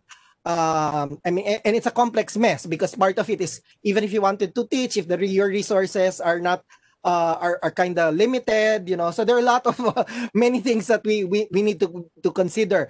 So but the the overall storyline seems to be that uh, we we need to recognize that it's a it's a changing world out there. And so unless the the I, I can always remember the you know this this video this this movie uh, uh, that I watched in a in a years ago uh, of uh, uh, a mentor in uh, in, in the US who managed to make his his his, his students uh, pass uh, the the math uh, advanced placement exam in in in in California and of course they were uh, initially it was thought that the he, the his students were were were, were um were cheating no? Because all of a sudden they they, they all passed you know?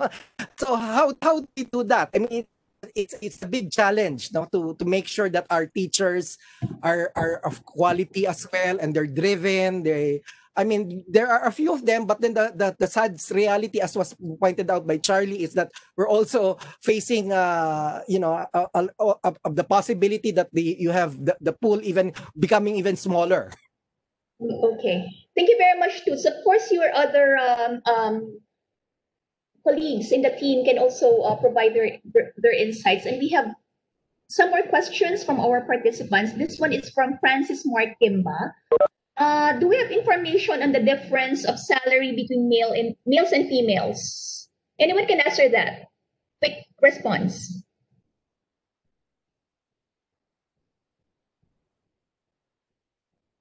Toots or anyone? Yeah, as I- far as I know, there are. eh, eh, Anna, may. Uh, I don't this- think we have any. Uh, Dr. different- Tabunda, yes. I don't think we have data on difference of salaries between males and females. It's not Mhm. available. Mhm. Okay. Uh, okay, from Gerald uh, Joe Denoga. Well, this is just a comment. It was pointed out that there was a huge over demand for other services compared to typical occupations. Maybe we can look into emerging occupations as the numbers for those other services from what I recall was 20%. Okay, and then this one is from um, Dr. Fabian Dayrit. Um, just a comment. We should realize that some of the more esoteric science are needed. For example, the environmental sciences, which support sustainability and the tourism industry and the future blue economy. And regarding the academe, we need more than scholarships. Academe also needs more support for laboratory facilities and faculty development. Indeed. Okay, uh, from Gerald uh, Joe Denoga, question to the panel. Given the supply chain problem we encountered with the pandemic, can the PIDS recommend disciplines? Um, should we boost for a national economy that is internally robust and self-sufficient, like maybe more people to go into medical research or manufacturing engineers? Uh, well, certainly the, the, the, struggle now is that, um, you know, th- this pandemic, we we were clearly unprepared, uh, to say the least. Uh, so we we already have a very limited set of human resources, particularly whether it's S&T or uh, specifically in the health sciences. Um, but the, the the the challenge here is this, no. Uh, we don't have data that will tell us that story of what we will given the, the change in the new normal what what should we do how can we retrofit and even we did uh the thing is it may be only an initial period there, there there's this struggle. You don't know whether the that that change demand right now will be is it short term is it medium term? And in and when we were looking at data already from the past we were already having struggles because when you start zooming in into specific disciplines you you get very rare sets of people you know very little data. So even trying to project what the, the demands for very esoteric disciplines will be a struggle you can only give big pictures. This is the hard part you know when when you have regardless whether you're looking at at the um, surveys of the psa or um census because you have a very small population already and trying to predict what you will really need for the future will be will not be purely based on the current sets of data but i think you need a, a lot of discussions from industry because it's possible that you're not get, get, get seeing that picture directly from surveys because of the limitation Okay, thank you very much for that. We have another question from Dr. Gerald uh, Denoga. Perhaps he can ask this uh, himself, uh, sir. If would you like to? Um, yes, go ahead, po. Your other question. The same Same, question. same problem. That's the same question, pa. Okay, thank you. Okay, thank you for that. Uh huh. Sige po, salamat. Okay, um, if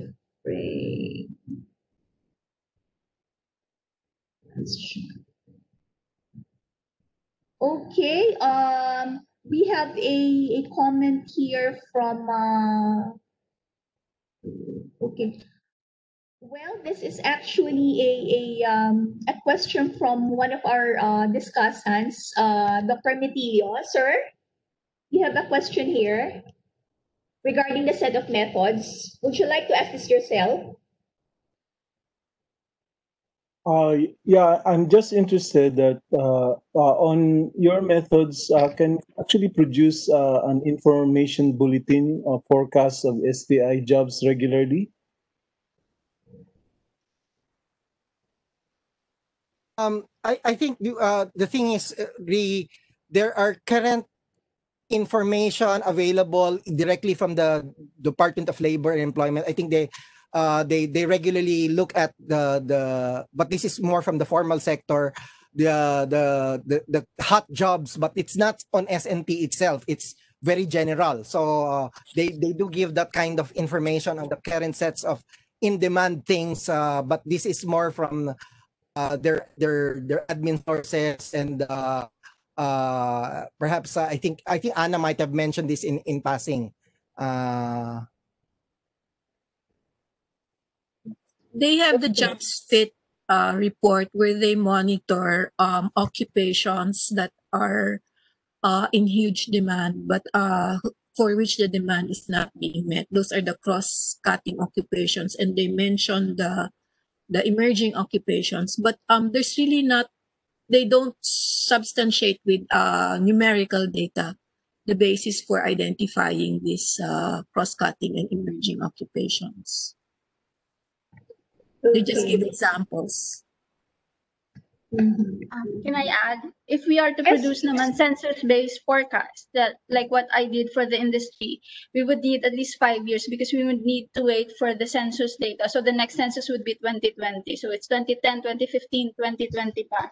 And then we would need to wait for the input-output table na na uh, the next available. So it's really data problems that's keeping us from from doing this regularly and ano na mas responsive dun sa changes na nakikita natin ngayon. So, uh, we can do that kung mabilis din yung data natin, but unfortunately, hindi ganun. Okay. Thank you very much for those uh, important points, uh, Chris and Pete.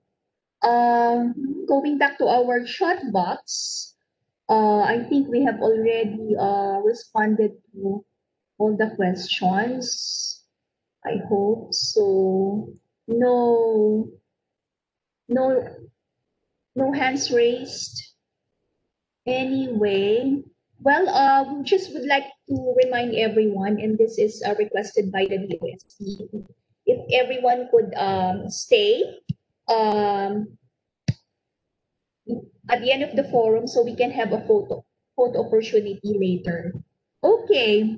Meron, meron tayong pahabol na question dito. Ruby Cristo, Cristobal from Ruby Cristobal. Um, would you like to ask this yourself, Ruby? Hello? Okay, let me just read it. Um, would a future qualitative method on SUV human resource preference be useful? Any thoughts on this? Yeah, uh, certainly the, the the hard part is this. You see, when we were doing all the quantitative analysis uh, based on the available data, trying to you you can only you can get very fairly good but not that good pictures uh, of the big pictures because even when you say big pictures, you know, as was mentioned by Anna, the labor force survey five uh, suggests only have five percent of S&T workers. So 5% of 40,000 houses being interviewed, you can just imagine that's just very little. Then when you start zooming to the specific occupations, then you have problems. No? So that's why you're not able to get a very consistent set of stories on, on the, the, the demand and supply, partly because of that kind of uh, data limitation. However, so to some extent, the qualitative information that that might be available directly from the from let's say the industry players. That's why it's it's good that we have uh, the industry players uh, voicing out their opinions. Uh, Dan Lachica earlier said that okay, we have 80% of our workers are, are are women. That tells a story, but the only thing is it's specific to his industry. It may not represent the entire industry. So the hard part is trying to to also now if you're DOST SEI and you're trying to su- suggest what would be the specific uh, industry categories, uh, uh, the, the specific disciplines, we will need to um, uh, bigger supplies on. So so this is a it's a little bit of a, a, a struggle to to try to put uh, mixed methods.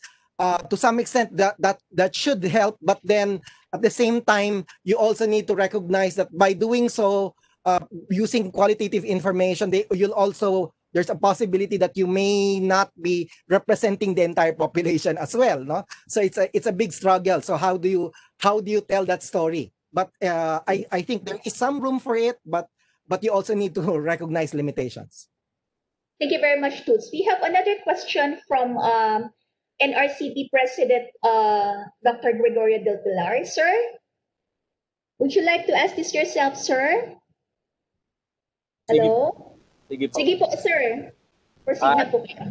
Ah, yung tungkol dun sa maagang pag-alis ng mga math and stat ah, ah, graduates ano, mula sa workforce, ah, pwede kayang kasi ang impression ko karamihan ng mga nandito sa fields na ito ay mga babae. Hindi ako nagkakamali. Hindi kaya may kinalaman doon yung yung pangangailangan ng pagsisibulan ng pamilya baka mas mabigat ang epekto sa kanila kaysa sa mga lalaki. What's Uh, maybe no, maybe I'd, I'd like to throw the question directly to Charlie and to, to Uh, Anna yeah. the School of Statistics. Although Anna has uh, Okay. recently retired, but maybe the the you know talking with their with their students, they they might be able to say a little bit more.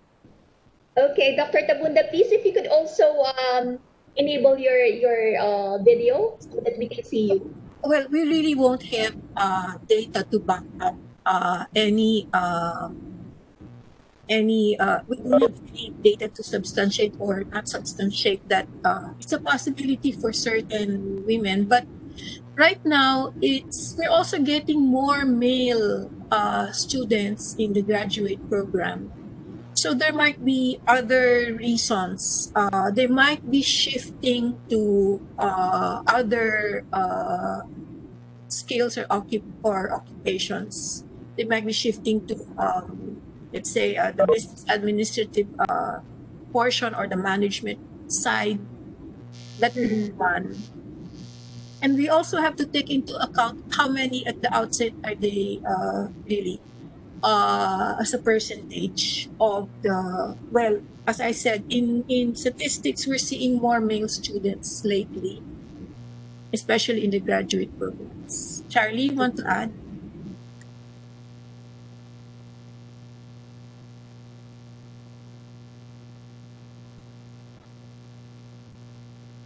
Okay. Sorry.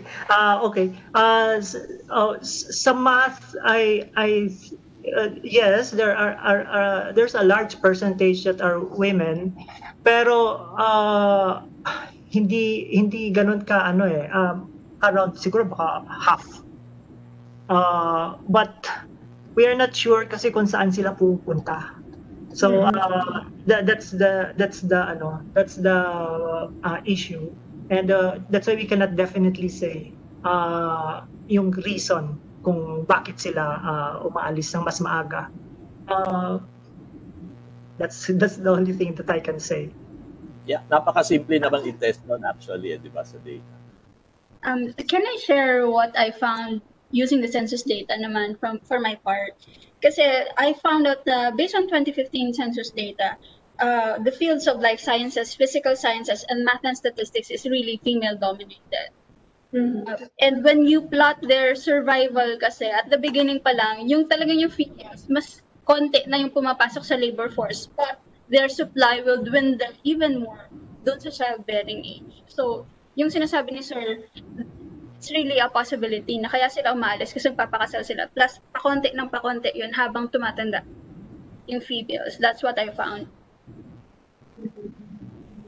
Posi pero posible rin kasi like uh, as was mentioned by Anna, for instance, to be more specific at PIDS, we have a number of our fellows or PhD in economics, but they started off as BS in in statistics.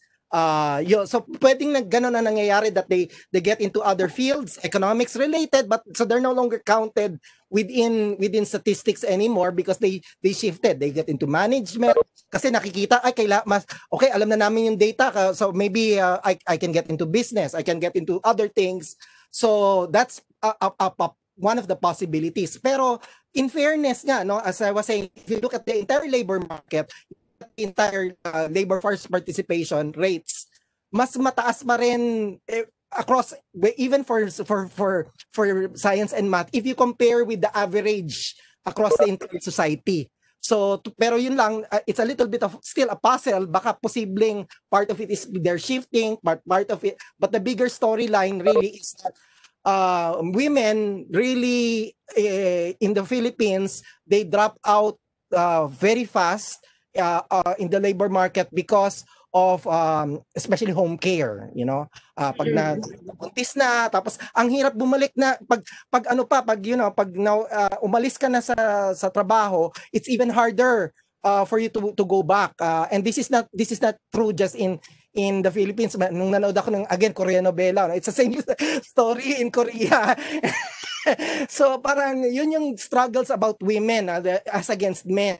I mean, men naman, di, naman, di, man, hindi man kami nanganganak, no? so so yun yung, uh, they, they have that uh, burden uh, of home care that, that sort of uh, makes it more difficult for them to re-enter. Okay. Thank you. Okay, and for our last question, may we hear from um, Executive Director of the NRCP, Dr. Marietta Sumagaysay. Ma'am, you have a question here on uh, uh, related to um, data, lack of Yes, good thank quality you. data. Thank you. Yes, uh, I was just thinking the givens are we lack good quality data and there are time lags in between censuses.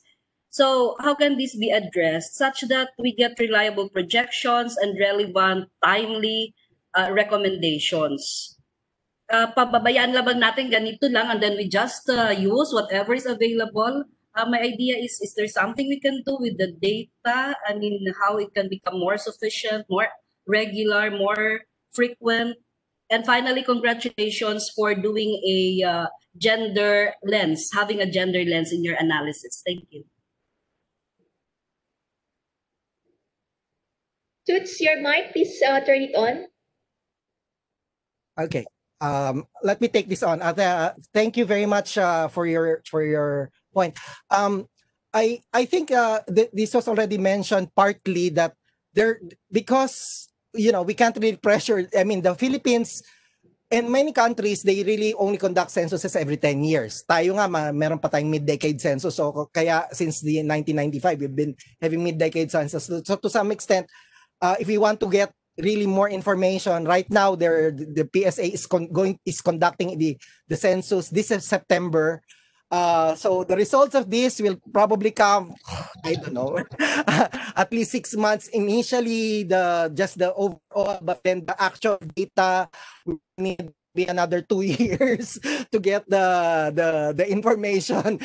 So it's it's it's it's a it's it's a struggle. But the the heart the the point raised by Ana Tabunda earlier that uh, we need bigger bigger sample sizes for labor the labor force survey. Pampalubag loob I think the PSA did that already now so now their new master sample design uh, multiplies the, the the the surveys by four four times. Dati mga 40,000 ngayon 160,000 ang sinasurvey nila every quarter. So that's why they're able to get fairly reliable estimates now. So the only thing is kasi naging constraint ni, ni, ni Ana when she was doing all the projections was nagkaroon nga ng break ng series kasi yung mga certain occupations like IT minsan ah de- naging stricto ngayon na naging nagche-change ng ano. So ang hirap ngayon mag-project ng historical information. Pero kung magiging consistent yung time series ngayon uh, can continue at least examining the labor force survey uh, the way that Ana did this uh, once they they keep giving us information kaya ang struggle ng PSA laging uh, delayed even with with the micro data they will not make it available until at least I think six months later. So for instance, the the the pandemic information on the first quarter and then the second quarter, which they should be releasing this month, uh, we will only get that information at best yung April round by by uh kailan? Ba ngayon ngayon na pwede October siguro makukuha na natin. But the the the July round we will get that. They will release it now. So we'll wait another three months. So mga January February pa natin makukuha if we're going to analyze. So it takes a- it's a very big struggle to actually uh, examine all of this data kasi parang yun nga it, it- yeah, there's a time lag. But we can't pressure them because hindi talagang hindi kahit na kaibigan na nga namin, matagal na matagal talaga mag, magbigay ng data yung PSA. It took them a long time because they also generally release uh, very big aggregates. Ang problema kasi din sa big aggregates, yung tinatawag na uh, three or two digit classifications of the occupations and education codes.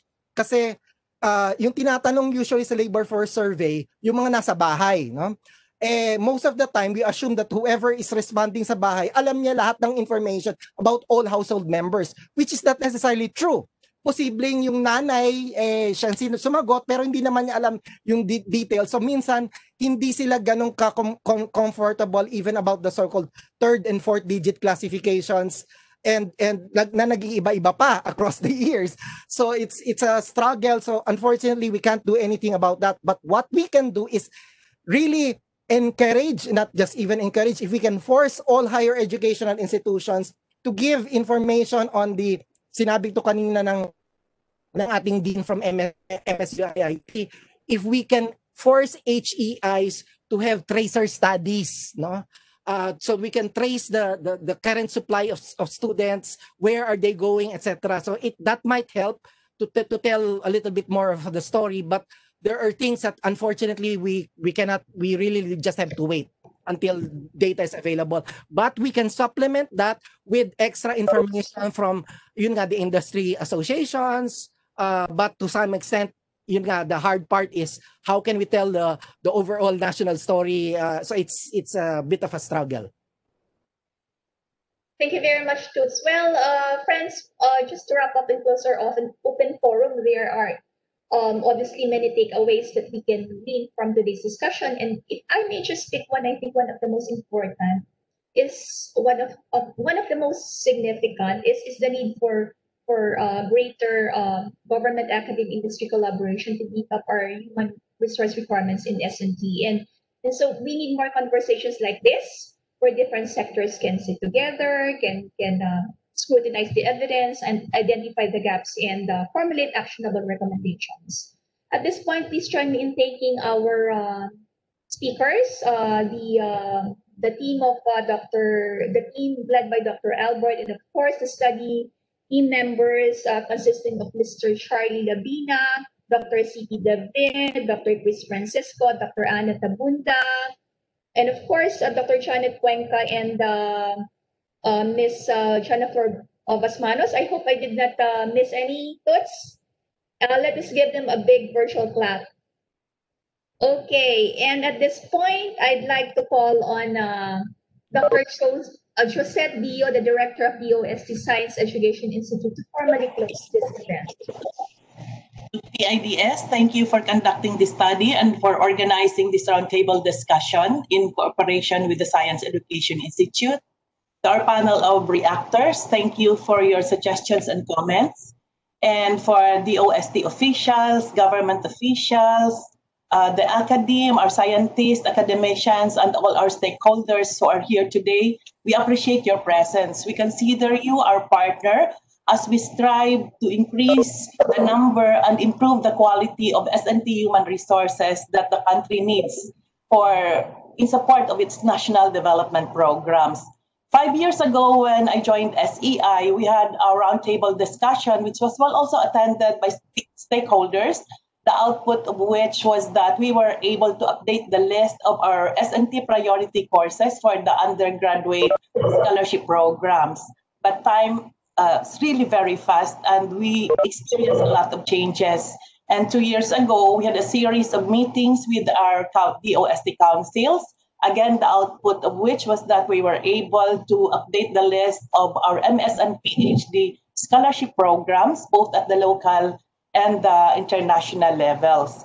And um, as presented in this research, there are really a lot of challenges na kailangan nating harapin to improve our S&T workforce in the country so that we can have inclusive um, national development. But uh, at this point in time, let me just present to you some silver linings na mga, mga magaganda namang nangyayari. No? Number one is in terms of government support, our budget. Five years ago, yung budget natin for scholarships for undergraduate levels can only accommodate 3,000 incoming freshmen. For MS, 700 slots, and we still divide that into three programs. One for MS and PhD for engineers, another is for teachers, and another is for all areas of sciences and mathematics. For PhDs naman, 250 slots lang. So a year after that, uh, we lobbied at the DBM, Congress, and even Senate at pinakita sa kanila yung scenario. Walang mangyayari sa Pilipinas kung ganyan lang ang budget na ibibigay nyo for scholarships. So we are very happy because two years later, sobra pa sa double ang budget na binigay sa atin. No? So three years ago, from 3,000 undergraduate slots, we were able to accommodate 9,000 incoming freshmen. From 700, 1,400 MS, and from 250, we were given a slot for 700 PhDs, as well as number of slots for foreign graduate scholarships. So masaya tayo sa support na binibigay ng national government and uh, nakikita nila yung importance ng ating program. Second is in terms of awareness. When I entered SEI, we only have about 40,000 scholarship applicants in the various areas of STEM. The following year, it was 80,000. Last year, we have 110 applicants for this year's scholarship. And for next year's scholarship, September 30 pa ang deadline natin. But we are already receiving 200,000 applicants even with this pandemic. And I do believe that this is the result of our aggressive promotion programs. We have STEM promotion programs all over the country, and I'm also very happy to inform you that out of the 1,560 municipalities and congressional districts without municipalities, ang na-reach na natin is 98%. In other words, 36 municipalities na lang ang wala tayong scholars and these are in very remote areas. But we are trying to do some interventions para maging ma-democratize at maging inclusive din yung ating program. And also we incentivize our MS and PhD graduates. It's a reality that sometimes kahit natapos na nila yung degrees nila even abroad, pagbalik nila sa Pilipinas, walang hiring. So we implemented this career incentive program or graduate fellowship program. We hire our MS and PhD graduates with substantial salaries. Uh, SEI pays for their salaries and we deploy them to research institutions para magamit nila yung kanilang mga expertise or they can still be further mentored by other scientists.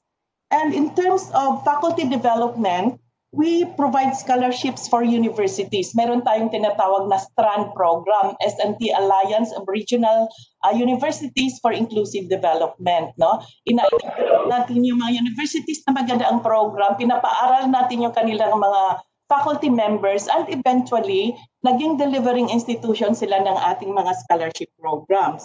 In terms naman of improving the quality of education, especially at the secondary level, meron din naman tayong tinatawag na Project STAR, SNT um, training for teachers, and we work closely with the Department of Education.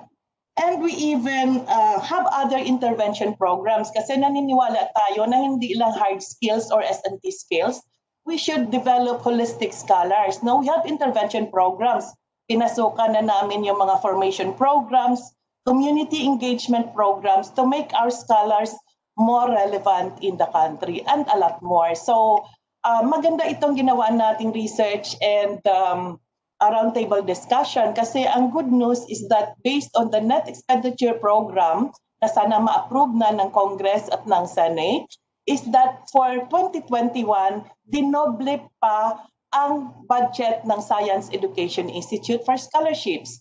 Now, this year we announced we announced 9,000 undergraduate scholars, but per our NEP, maka-announce kami ng 16,000 incoming freshman scholars in 2021 and also for MS and PhDs.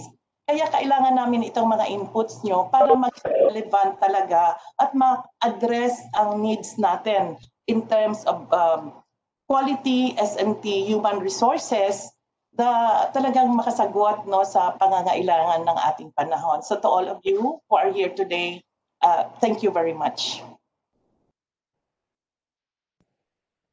Okay, thank you very much, uh, Dr. Uh, it was uh, UST uh, SEI Executive Director, Dr. Josette Biyo. Um, please don't go yet, okay? Because we still have a photo opportunity. Um, okay, so how do we do this? May I request everyone to please turn on your uh, videos so that you'll be in the in the photo.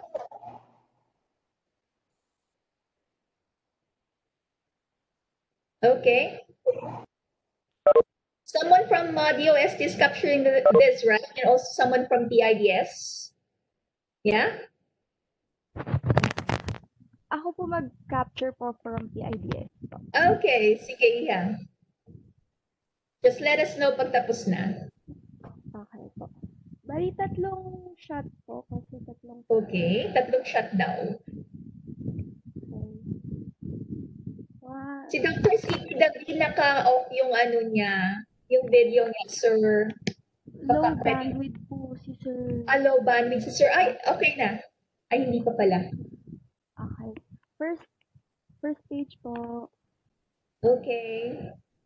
Smile.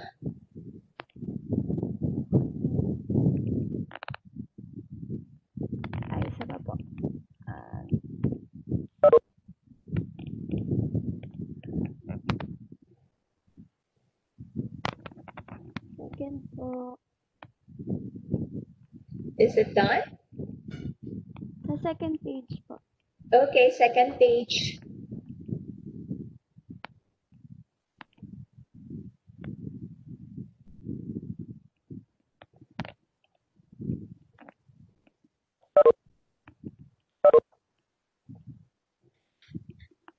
Third page po. Third na? Apa. Okay. One, two.